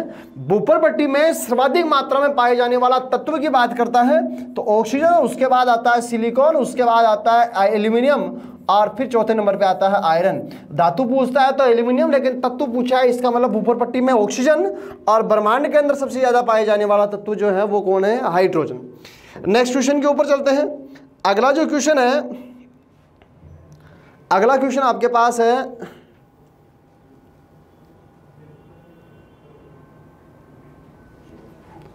अगला जो क्वेश्चन है, एक मिनट ना, आपको विजुलाइज ढंग से हो जाए, इसलिए थोड़ा सा इसको ना स्क्रीन के ऊपर सेट कर देते हैं। ये लो, अब ठीक दिख रहा है। आगे वाला क्वेश्चन है कि इनमें से कौन सा सबसे ज़्यादा अम्लीय है? मोर एसिड कौन सा है? ये एक नंबर जो है, इसके अंदर एक फ्लोरीन लगा हुआ है। इसके अंदर आपके पास क्लोरीन लगा हुआ है, इसमें दो क्लोरीन लगे हुए हैं और इसके अंदर आपके पास दो फ्लोरीन लगे हुए हैं। इस क्वेश्चन का जो राइट आंसर जाएगा, वो आपके पास जाएगा सी डब्ल्यू एच और ये सी एच ये एफ़ और ये आपके पास है। फ्लोरीन का माइनस आई इफ़ेक्ट जितना ज़्यादा होता है, उतना है, आपके पास माइनस आई इफ़ेक्ट जितना ज़्यादा होता है एसिडिक स्ट्रेंथ उतनी ही ज़्यादा होती है। तो यहाँ दो दो फ्लोरीन के माइनस आई इफ़ेक्ट लगेंगे, इसका मतलब ऑप्शन नंबर चार जो है, इसका बिल्कुल करेक्ट आंसर होगा। नेक्स्ट क्वेश्चन के ऊपर चलते हैं। Benzoic acid. सांद्र HNO3 और सांद्र H2SO4 के साथ क्रिया करके क्या देता है? आपके पास नाइट्रेशन रिएक्शन एक तरीके से बोल सकते हो आप इसको। जब आपके पास ये बेंजोइक एसिड होगा और ये सब आपके पास HNO3 के साथ रिएक्शन करेगा तो यहाँ पर NO2 आकर के जुड़ेगा, लेकिन ये COOH का माइनस का एम इफ़ेक्ट होता है। इसका मतलब ये आपके पास मेटा निर्देशी होता है। मेटा निर्देशी नोट्स के अंदर, बिल्कुल नोट के अंदर आपको बिल्कुल अच्छे से मेंशन कर रखा है मैंने कि एम अब देखो यहाँ एम लिखा हुआ इंग्लिश में आप देख लेते हैं मेटा नाइट्रोबेंजोइक एसिड बिल्कुल करेक्ट आंसर होगा। तो ऑप्शन नंबर तीन जो है, इस क्वेश्चन का एकदम करेक्ट आंसर होगा। नेक्स्ट क्वेश्चन चलते हैं कार्बन यौगिक में कार्बन और हाइड्रोजन और ऑक्सीजन से बना हुआ है, इनका मौलिक विश्लेषण करने से। कार्बन इतना है हाइड्रोजन इतना है इसके अंदर। तो यौगिक का मूलानुपाती सूत्र क्या होगा? थोड़ा सा कैलकुलेशन वाला क्वेश्चन था। ऑप्शन नंबर तीन जो है, वो इसका राइट आंसर होगा। तो हो सकता है आपसे ये क्वेश्चन थोड़ा छूट गया हो। बाकी सारे क्वेश्चन जो है, एक दो क्वेश्चन को छोड़ दिया जाए तो सारे क्वेश्चन बिल्कुल आसान हैं। थोड़े से कॉन्सेप्चुअल टाइप के धैर्य के साथ आपको हर क्वेश्चन को पढ़ना था। अगले क्वेश्चन के ऊपर अगर आप चलते हो तो नेक्स्ट क्वेश्चन जो है नेक्स्ट क्वेश्चन आपके पास है यहाँ, कि अगर एन बराबर दो और एल बराबर ए के सभी ऑर्बिटल्स में फिट हो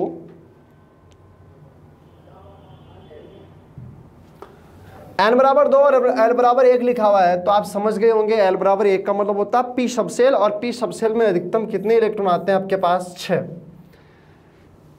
कौन सा एक रेडोक्स अभिक्रिया नहीं है? मतलब ऑक्सीडेशन और रिडक्शन ऑक्सीकरण और अपचयन कौन सी रिएक्शंस में यहाँ नहीं हो रहा है?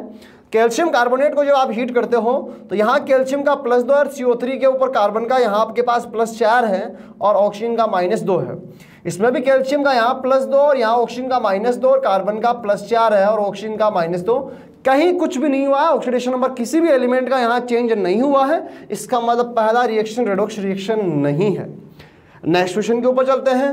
प्रथम कोटि की अभिक्रिया 30 मिनट के अंदर अगर 30 परसेंट कंप्लीट होती है तो अर्ध आयु काल कितना होगा इसका? बार बार बताया कि फ़र्स्ट ऑर्डर क्वेश्चन जब आता है तो फ़र्स्ट ऑर्डर से ही आता है जनरली अब तक जब भी आया है क्वेश्चन ज़्यादातर फ़र्स्ट ऑर्डर से आया है अर्धायु काल बताना था। फॉर्मूला मैंने लिखा रखा है कि टी हा बराबर होता आपके पास 0.693 अपॉन आपके पास में के ये के हमें निकालना था और यहाँ पुट करना था।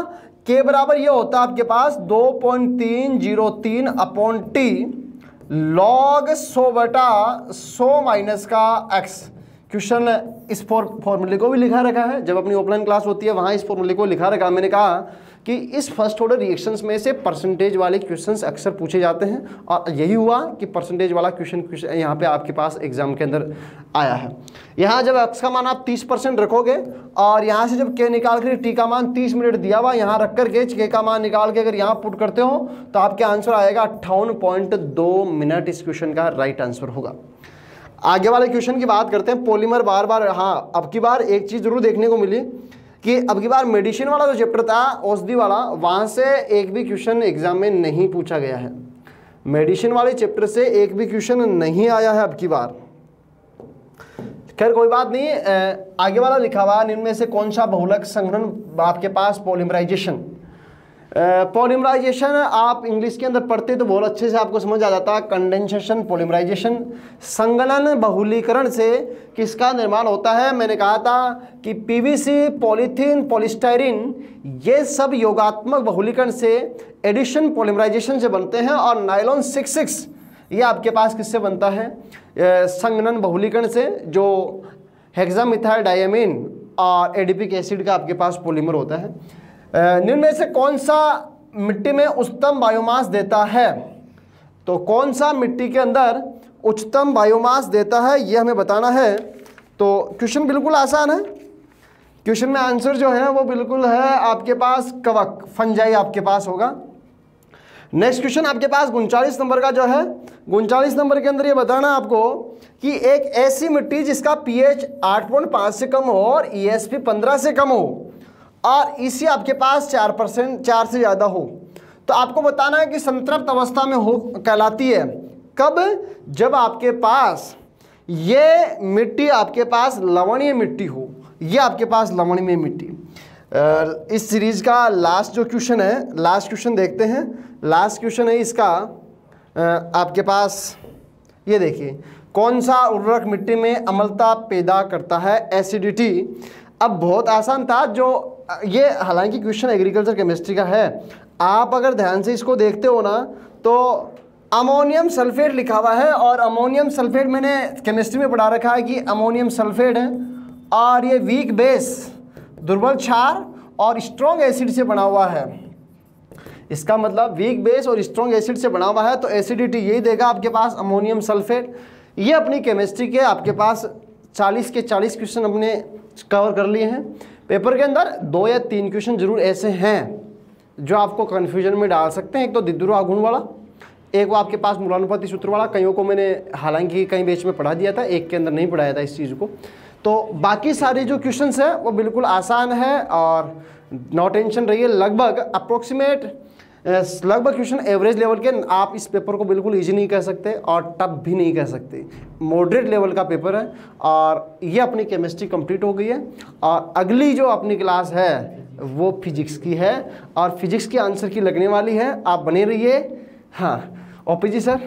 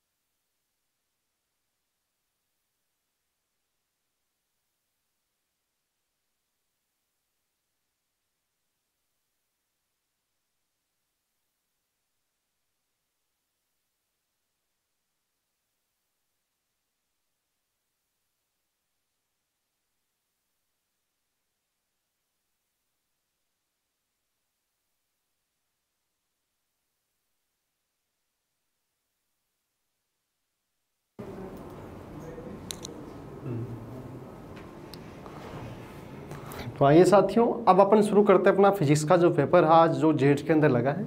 उसके क्वेश्चंस को वन बाय वन डिस्कस करते हैं कि किसमें हर क्वेश्चंस का सॉल्यूशन नहीं बताऊँगा। जो मेन मेन आपके डाउट वाले रहेंगे, मैं बता दूँगा, मैं समझ जाऊँगा कि आपके कौन सा डाउट वाला है। बाकी अपन आंसर की को यहाँ डिस्कस कर रहे हैं। जो भी इंपॉर्टेंट जो क्वेश्चन आपके डाउट में है, वो मैं आपको यहाँ पर मैंशन कर दूँगा, आपको क्लियर कर दूँगा।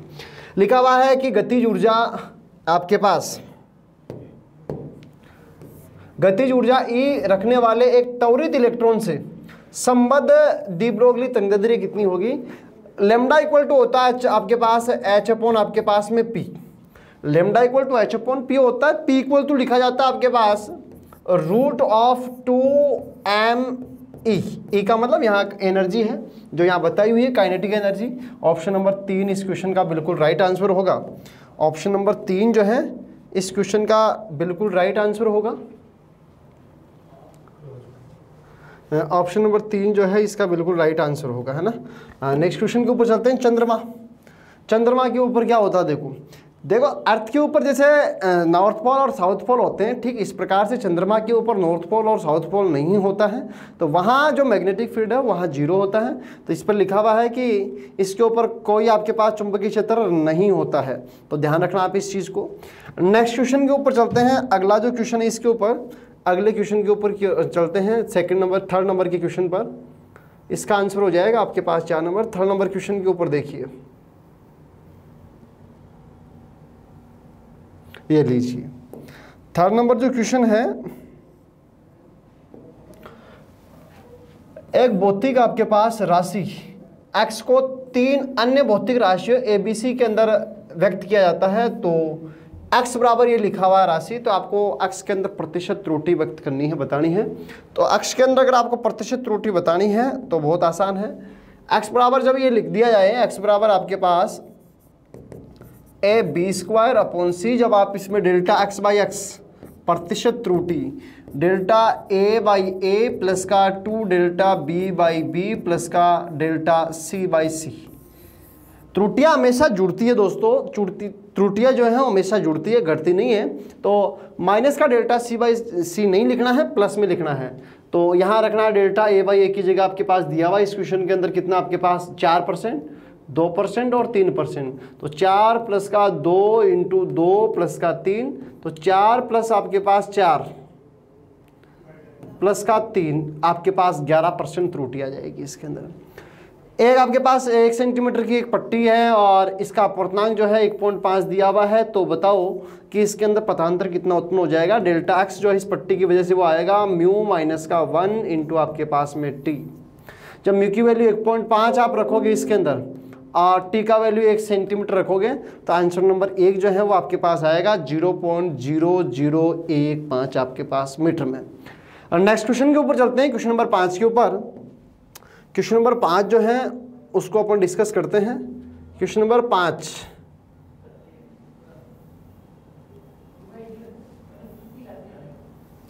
क्वेश्चन नंबर पाँच को देखते हैं एक मिनट। ये देख लीजिए। क्वेश्चन नंबर पाँच में दे रखा है कि यदि लाल रंग के प्रकाश स्रोत को बैंगनी रंग के प्रकाश स्रोत से बदल दिया जाए तो विवर्तन स्वरूप में क्या परिवर्तन आएगा? अगर भैया लेमडा आपके पास कम हो रही है, लाल रंग की ज़्यादा होती है और बैंगनी रंग की कम होती है तरंग दैर्ध्य लेमडा। अगर लेमडा घटती है तो विवर्तन स्वरूप जो आपका आ रहा है डिफ्रेंशिएशन पैटर्न वो आपके पास सिकुड़ जाएगा कॉन्ट्रैक्शन उसके अंदर आ जाएगा। तो ऑप्शन नंबर तीन इसका राइट आंसर है। तापमान पर किस तापमान पर सेल्सियस और फारेनहाइट पैमाने समान होते हैं? मैं आपको बता देता हूँ रिलेशन होता है सी बटा पाँच और एफ़ माइनस का बत्तीस बटा आपके पास नो। सी की जगह आप एफ़ फुट करोगे तो आपके पास वैल्यू निकल करके आएगी माइनस का चालीस। क्योंकि ये बोल रहा है कि सेल्सियस और फारेनहाइट सेम करना है। मतलब सी की जगह एफ़ या एफ़ की जगह सी पुट कर दीजिए तो आपके पास सी की या एफ़ की वैल्यू निकल करके आएगी माइनस का चालीस डिग्री के अंदर। अब वो फारेनहाइट हो सकता है और सेंटीग्रेड दोनों के लिए बराबर होता है। ज़ीरो डिग्री सेंटीग्रेड पर 50 ग्राम बर्फ़ आपके पास है और 80 डिग्री सेंटीग्रेड के 50 ग्राम पानी के साथ इसको मिलाया जाता है तो मिश्रण का अंतिम तापमान कितना होगा? इस क्वेश्चन का आंसर जो है वो आपके पास ज़ीरो डिग्री है। नेक्स्ट क्वेश्चन के ऊपर चलते हैं। अगला जो क्वेश्चन है अपना, वो ये है कि चालन गतिशीलता के पदों में अनुगमन वेग, ड्रिफ्ट वेलोसिटी को आपको व्यक्त करना है। ड्रिफ्ट वेलोसिटी वीडी जो है, वो प्रोपोर्शनल होती है आपके पास ई के और वीडी इक्वल टू निकल करके आता है यहाँ से आपके पास म्यू ई म्यू होती है मोबिलिटी गतिशीलता और ई विद्युत क्षेत्र है। दोनों में रिलेशन एक नंबर बिल्कुल सही होगा।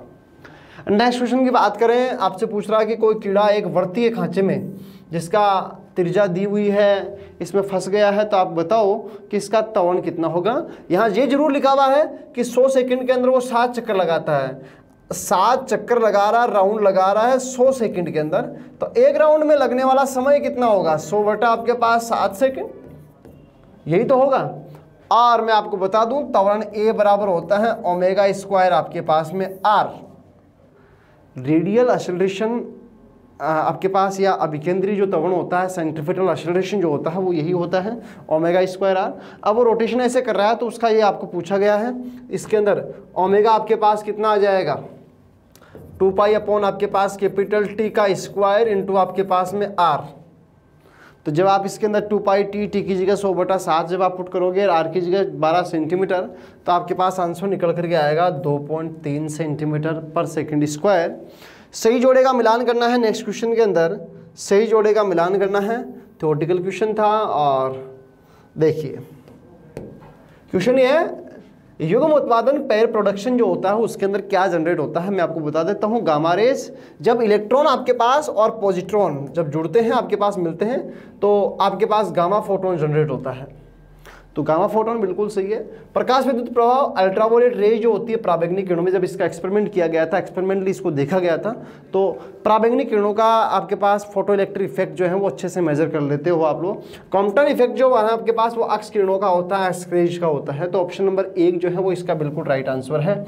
पृथ्वी की सतह पर गुरुत्वीय त्वरण अगर आपके पास जी हो, पृथ्वी की सतह पर अगर आपके पास गुरुत्वीय त्वरण जी हो पृथ्वी की सतह पर गुरुत्वीय त्वरण जी है। एम द्रव्यमान की वस्तु को पृथ्वी की सतह से पृथ्वी की त्रिज्या आर के बराबर ऊंचाई तक उठाने में किया गया कार्य कितना होगा? तो इस क्वेश्चन का जो राइट आंसर था, वो है एम जी आर बाई आपके पास में फोर कौन सी यांत्रिक तरंगे नहीं है? यांत्रिक तरंग है जो माध्यम के ऊपर डिपेंड करती है तो ध्वनि तरंगे ऐसी है जो माध्यम के ऊपर डिपेंड करती है। राइट आंसर आपके पास चार। नेक्स्ट क्वेश्चन की अगर बात करोगे क्वेश्चन नंबर तेरह की फिर से रिपीट हो गया, कोई दिक्कत नहीं है, वापस आ जाएगा। फिर से वो क्वेश्चन अपने पास रिपीट हो गए हैं ना, उनको मैं ऊपर निकाल रहा हूँ। अगला जो अपना क्वेश्चन है इसके अंदर, बारह नंबर का क्वेश्चन हो गया था अपना, अगला है तेरह नंबर का क्वेश्चन ये आ गया अपने सामने।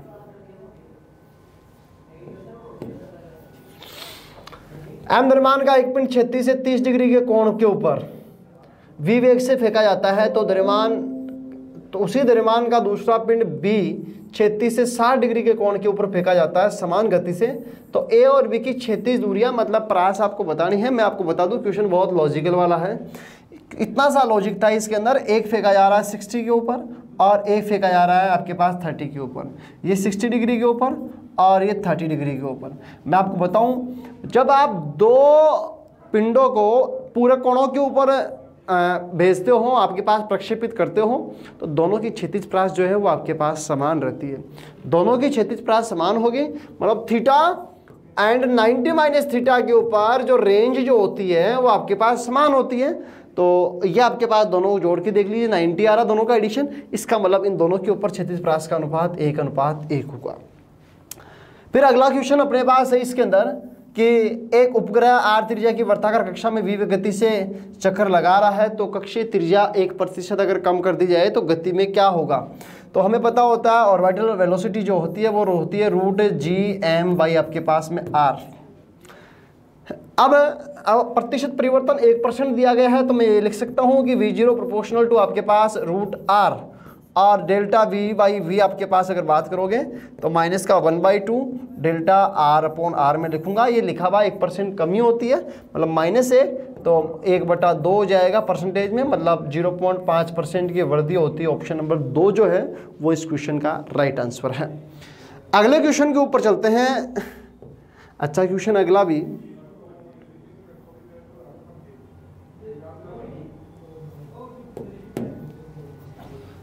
एक अल्फ़ा कण और एक प्रोटॉन को विराम से समान विभवांतर पर त्वरित किया जाता है तो उसका अंतिम वेग का अनुपात ज्ञात कीजिए।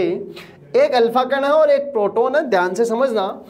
ये अल्फ़ा कण, और ये आपके पास एक प्रोटॉन है। प्रोटॉन का, और चार्ज अगर मैं देखता हूँ, इसके ऊपर आवेश टू ई होता है, इसके ऊपर ई होता है। अगर इसका मास ऑफ़ एम है फोर एम है तो इसका प्रोटॉन का एम है। मतलब प्रोटॉन से फोर टाइम्स होता है अल्फ़ा पार्टिकल का मास मास ऑफ़ प्रोटॉन अगर एम है तो इसका हो जाएगा फोर एम आपको ये पूछा गया है कि अंतिम वेगों का अनुपात कितना होगा इनका?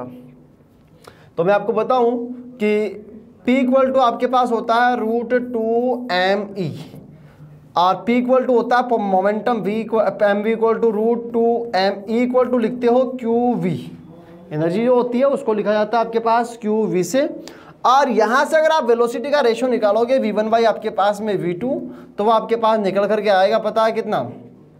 यहाँ से सीधा भी आप देख सकते हो एम से एम कटेगा तो रूट एम बच जाएगा तो वी प्रोपोर्शनल हो जाएगा आपके पास रूट क्यू बाई एम की। तो V one by V two equal to root of आपके पास Q one by Q two और रूट के अंदर एम टू बाई आपके पास में M one Q one Q two पहले मैं अल्फ़ा पार्टिकल मान रहा हूँ टू ई होता है इसका ई होता है।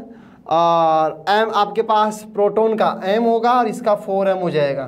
तो ये आपके पास हो जाएगा रूट के अंदर, ये दो और ये एक, और ऊपर चार नीचे। तो दो डिवाइड बाई चार तो एक अनुपात आपके पास रूट दो। इस क्वेश्चन का राइट आंसर होगा, एक अनुपात रूट दो। आगे वाले के ऊपर लिखा हुआ है क्वेश्चन के अंदर एक लोलक है एम द्रव्यमान का है और जो कि एक मीटर लंबाई के लचीले तार से लटका हुआ है। यदि तार का भंजन सामर्थ्य मतलब टेंशन कितना वो सहन कर सकता है, वो आपके पास टू 2 के बराबर दिया हुआ है। आपको ये बताना था कि पेंडुलम का कोणीय विस्थापन कितना है। पेंडुलम का कोणीय विस्थापन अगर बताना है तो बहुत आसान है। ये आपके पास एक पेंडुलम है, इस तरीके से लटका हुआ है, इस दृढ़ आधार से।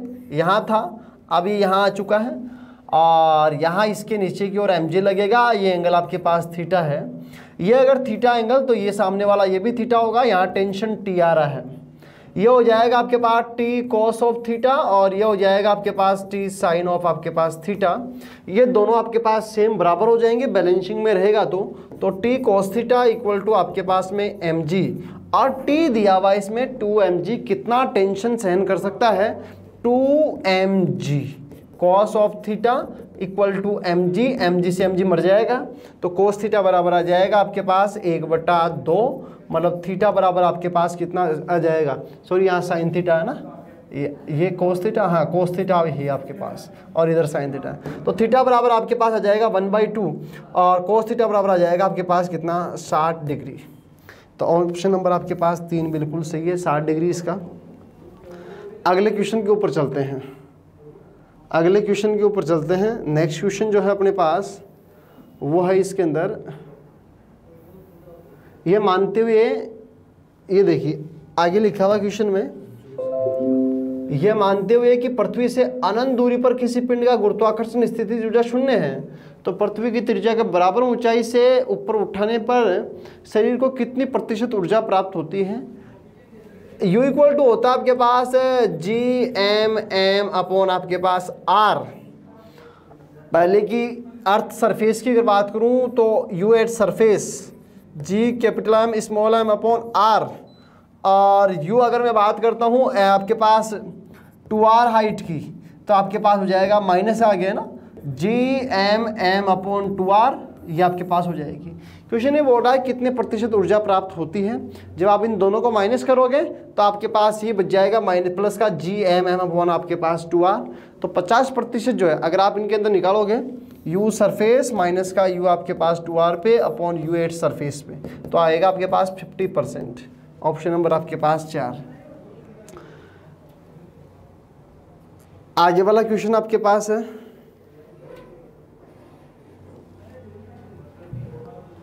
लाल और बैंगनी रंगों के लिए दो पुंजों के आपके पास अलग अलग गुजारा जाता है और इनका प्रिज्म कोण ए आपको दिया हुआ है साठ डिग्री। न्यूनतम विचलन की स्थिति में अपवर्तन कोण कितना होगा? मैं आपको बता दूँ, अपवर्तन कोण आर बराबर होता है टू ए आर बराबर टू ए ये अपवर्तनांक के ऊपर डिपेंड नहीं करता है।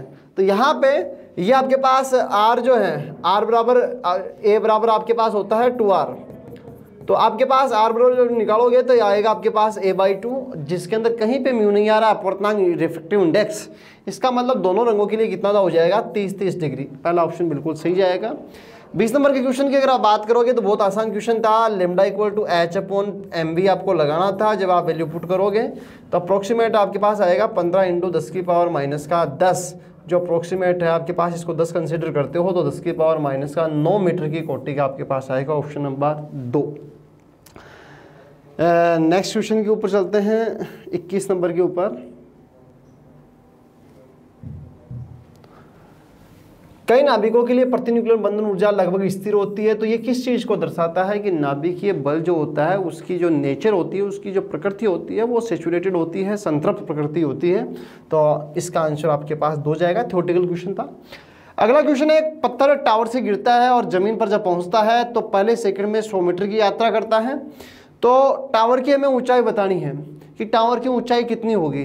तो जब आप इसकी टावर की ऊंचाई निकालोगे टाइम जब निकालोगे टी इक्वल टू आपके पास रूट में टू एच अपॉन जी आएगा। टू और एच का मान आपके पास दिया हुआ कितना? सौ मीटर। और जी का वैल्यू आपके पास दस। तो ज़ीरो से जी कट जाएगा, आपके पास कितना आएगा? रूट बीस। जब आप इसे निकालोगे तो टावर की ऊंचाई आएगी 500 और आपके पास इकसठ मीटर।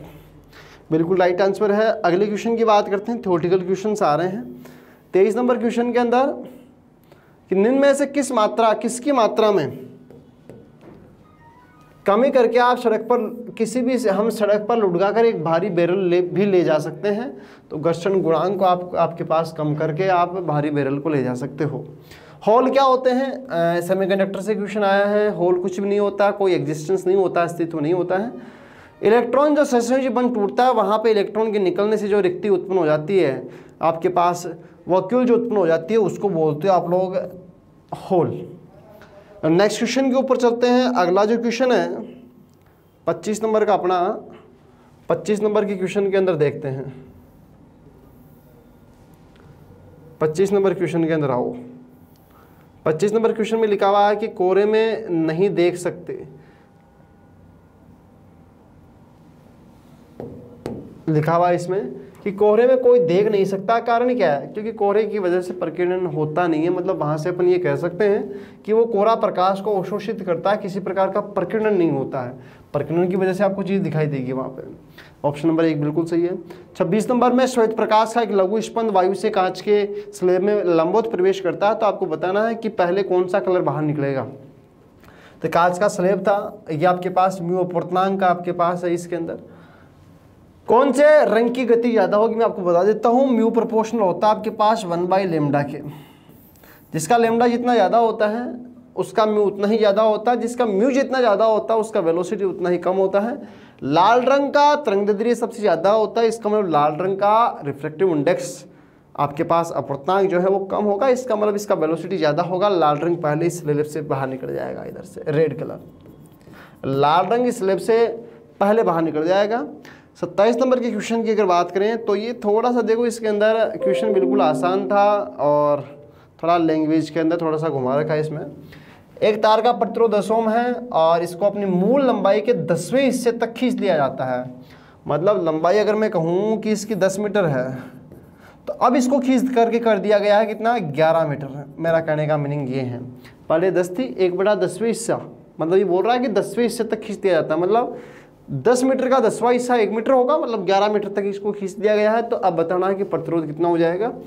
आर प्रोपोर्शनल होता है आपके पास एल स्क्वायर के, जब R one upon R two की आप बात करोगे तो L one upon L two का स्क्वायर जब आप रखोगे एल वन को आप एल मान लीजिए दस मीटर दिया हुआ और बाद वाली जो है वो हो चुकी है आपके पास ग्यारह मीटर। तो दस बटा आपके पास ग्यारह का आपके पास स्क्वायर हो जाएगा तो आंसर आ जाएगा आपके पास बारह पॉइंट एक ओम अगला क्वेश्चन बात करते हैं। धारावाही चालक में उष्मा किस रूप में संचित होती है? तो आपके पास आ जाएगा चुंबकीय क्षेत्र के रूप में। नेक्स्ट क्वेश्चन की बात करते हैं तीस नंबर की क्वेश्चन की। तीस नंबर क्वेश्चन में है, लंबाई मापने के लिए इनमें से कौन सा सबसे परिशुद्ध यंत्र होगा? मतलब मिनिमम वैल्यू को कौन मेजर करेगा?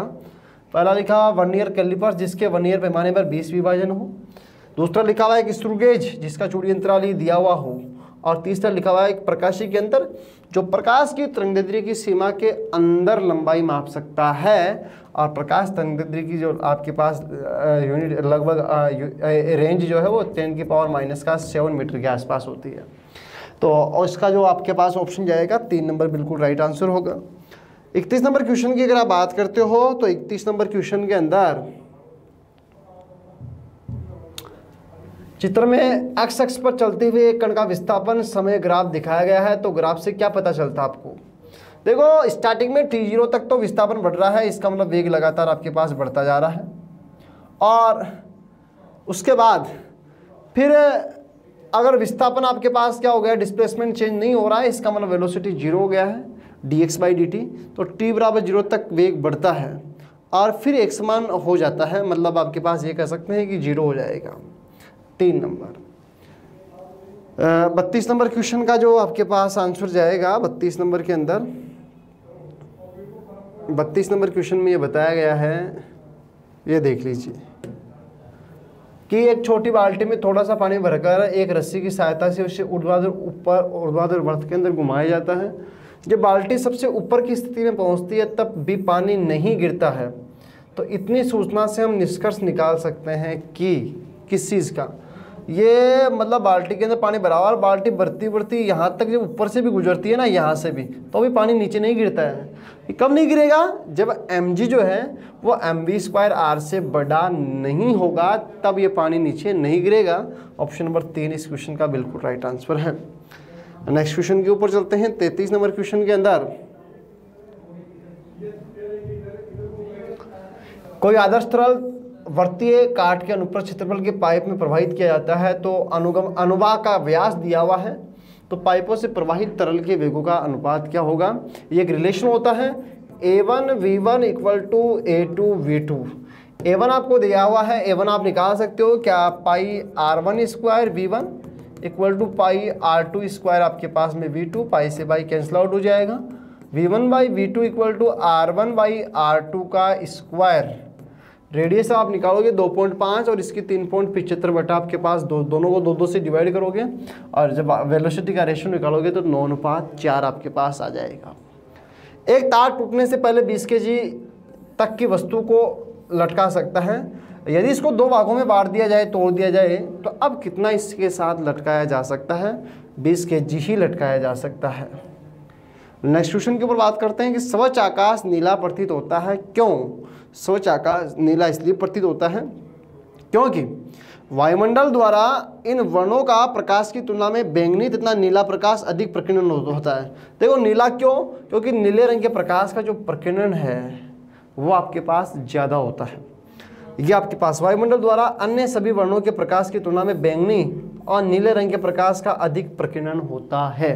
इसलिए हमें आकाश नीला दिखाई देता है। नेक्स्ट क्वेश्चन के ऊपर चलते हैं। इसका आंसर तीन हो जाएगा पैंतीस नंबर क्वेश्चन का। किरचॉफ का संधि नियम किस चीज़ को आपके पास अनुसूचित करता है या अनुचिंतन करता है?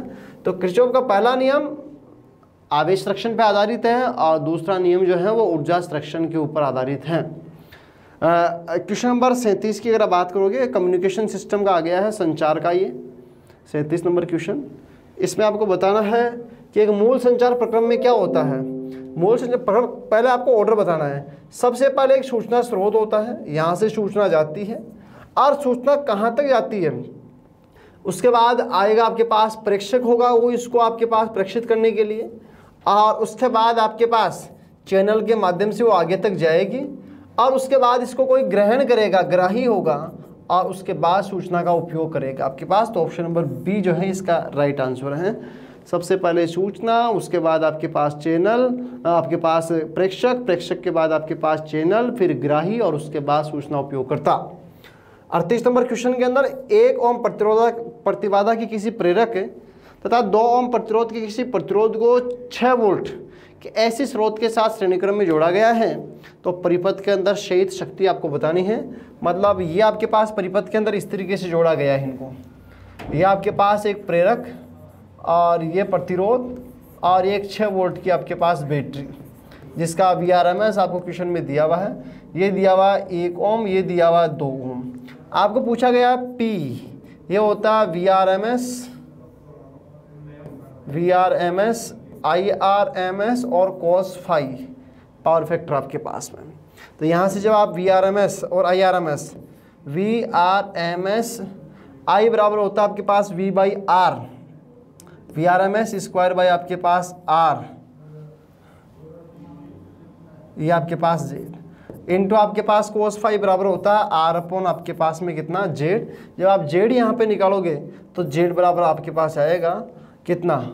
एक का स्क्वायर प्लस दो का स्क्वायर बराबर आपके पास में रूट पाँच.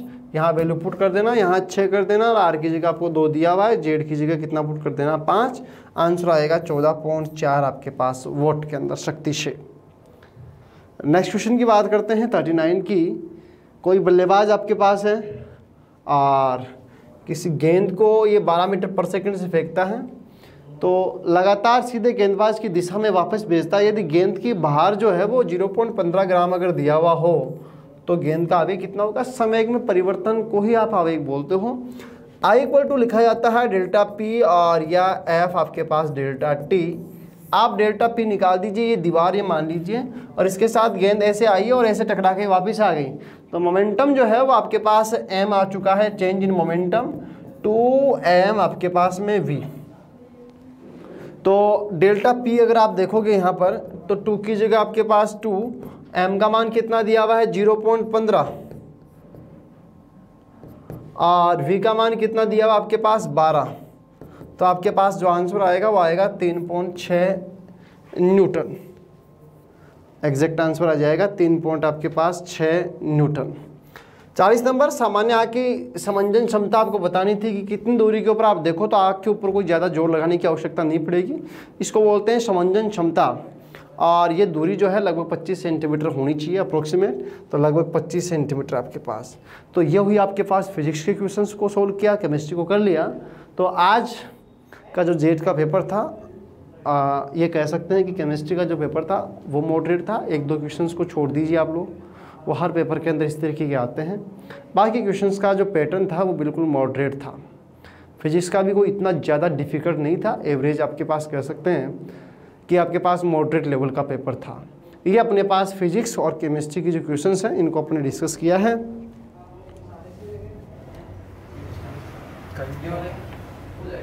तो मैं थोड़ा देखो शुरू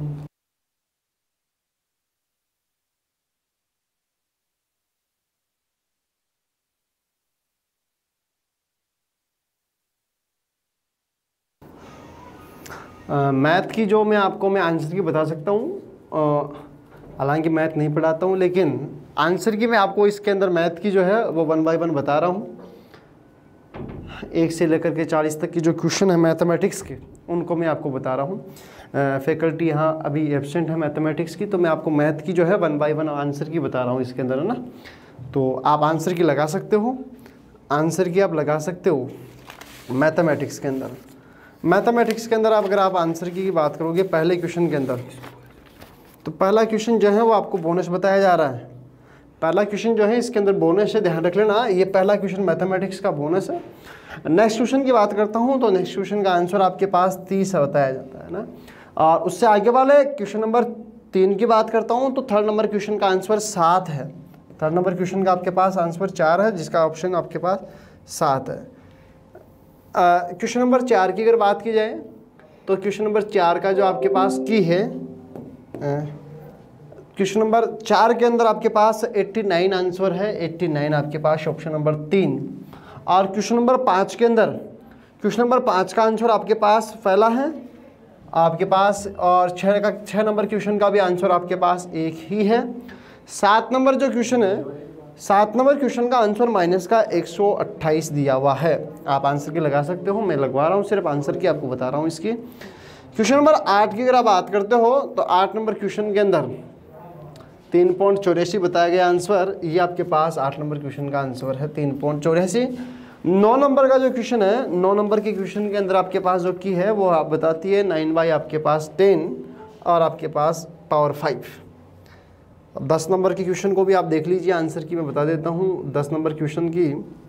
दस नंबर क्वेश्चन के अंदर जो आंसर है, दस नंबर क्वेश्चन का आंसर आपके पास पहला है, पहला, और इसका आपके पास माइनस का एक बटा दो है। क्वेश्चन नंबर बारह जो है बारह नंबर के क्वेश्चन का आंसर जो है, वो पहला ऑप्शन है और तेरह के अंदर आपके पास ऑप्शन नंबर तीन है। पहला ऑप्शन और इसके अंदर तेरह के अंदर आपके पास तीन। अगला क्वेश्चन बता देता हूँ मैं, forty number question. Forty number का जो क्वेश्चन है, आपको इसके अंदर मूल बताने हैं और इसके अंदर आपके पास ऑप्शन नंबर दो और इसके अंदर आपके पास पंद्रह के अंदर आपके पास ऑप्शन नंबर एक। पंद्रह के अंदर ऑप्शन नंबर आपके पास एक है ना? क्वेश्चन नंबर सोलह की बात करोगे तो सोलह के अंदर आपके पास तीन है और सोलह नंबर क्वेश्चन के अंदर ऑप्शन आपके पास तीन।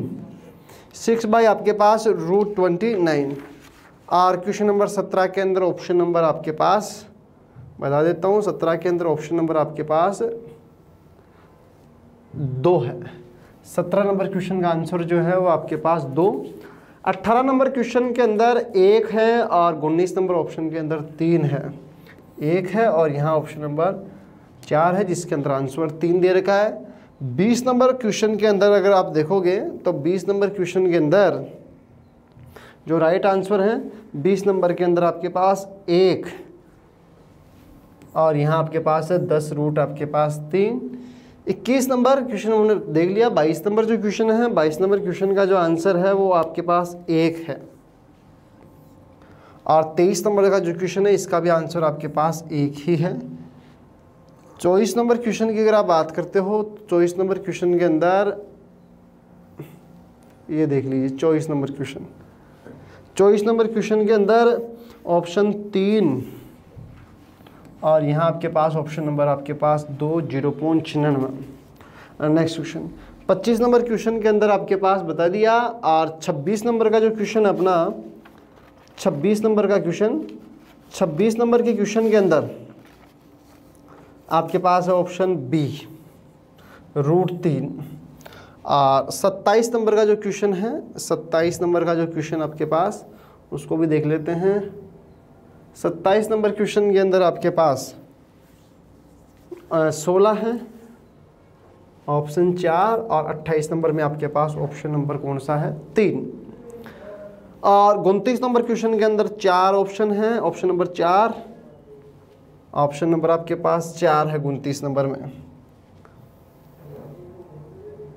तीस नंबर जो क्वेश्चन है, तीस नंबर क्वेश्चन के अंदर जो राइट आंसर है, वो आपके पास ज़ीरो है।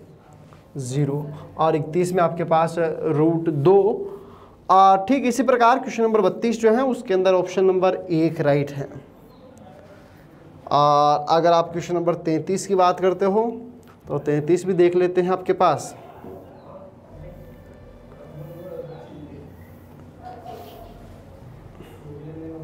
तैंतीस नंबर क्वेश्चन है। तैंतीस नंबर क्वेश्चन देखते हैं। तैंतीस नंबर जो क्वेश्चन है, इसका आंसर आपके पास एक है। तैंतीस नंबर क्वेश्चन का आंसर जो है, वो आपके पास एक है। क्वेश्चन नंबर चौंतीस जो है ना, चौंतीस नंबर का क्वेश्चन जो है, उसका आंसर अगर आप देखोगे तो चौंतीस नंबर में ऑप्शन नंबर है चार। और पैंतीस नंबर के अंदर आपके पास ऑप्शन है इसके अंदर, ऑप्शन नंबर एक। छत्तीस के अंदर भी ऑप्शन नंबर एक है। छत्तीस के अंदर भी ऑप्शन नंबर एक है आपके पास। पैंतीस के अंदर मैंने आपको एक बताया था। सैंतीस नंबर का जो क्वेश्चन है, सैंतीस नंबर क्वेश्चन के अंदर ऑप्शन आपके पास है तीन। अड़तीस नंबर क्वेश्चन के अंदर ऑप्शन आपके पास है, चार नंबर ऑप्शन जिसका आंसर आपके पास आठ है। उनचालीस नंबर का क्वेश्चन लास्ट दो क्वेश्चन और बचे मैथमेटिक्स के। उनचालीस नंबर का जो क्वेश्चन है, उनचालीस नंबर के क्वेश्चन के अंदर आंसर जो है, वो ऑप्शन चार और चालीस के अंदर ऑप्शन तीन। उनचालीस के अंदर इसके अंदर चार बताया था, और इसके अंदर ऑप्शन आपके पास चार, और चालीस के अंदर आपके पास ऑप्शन कितना है? तीन। और ये आपके पास उनचालीस के अंदर चार है ना, और चालीस के अंदर आपके पास तीन। ये! मैथमेटिक्स के आंसर की थी, और सब चीज़ों के आंसर की लगा दी है। Physics, chemistry, math, biology, agriculture. Agriculture की नहीं हुई शायद अभी तक है। सब की हो गई है। तो आप मिला लीजिए, कितने क्वेश्चन सही होते हैं, कमेंट सेक्शन में आप बताइए। Thank you so much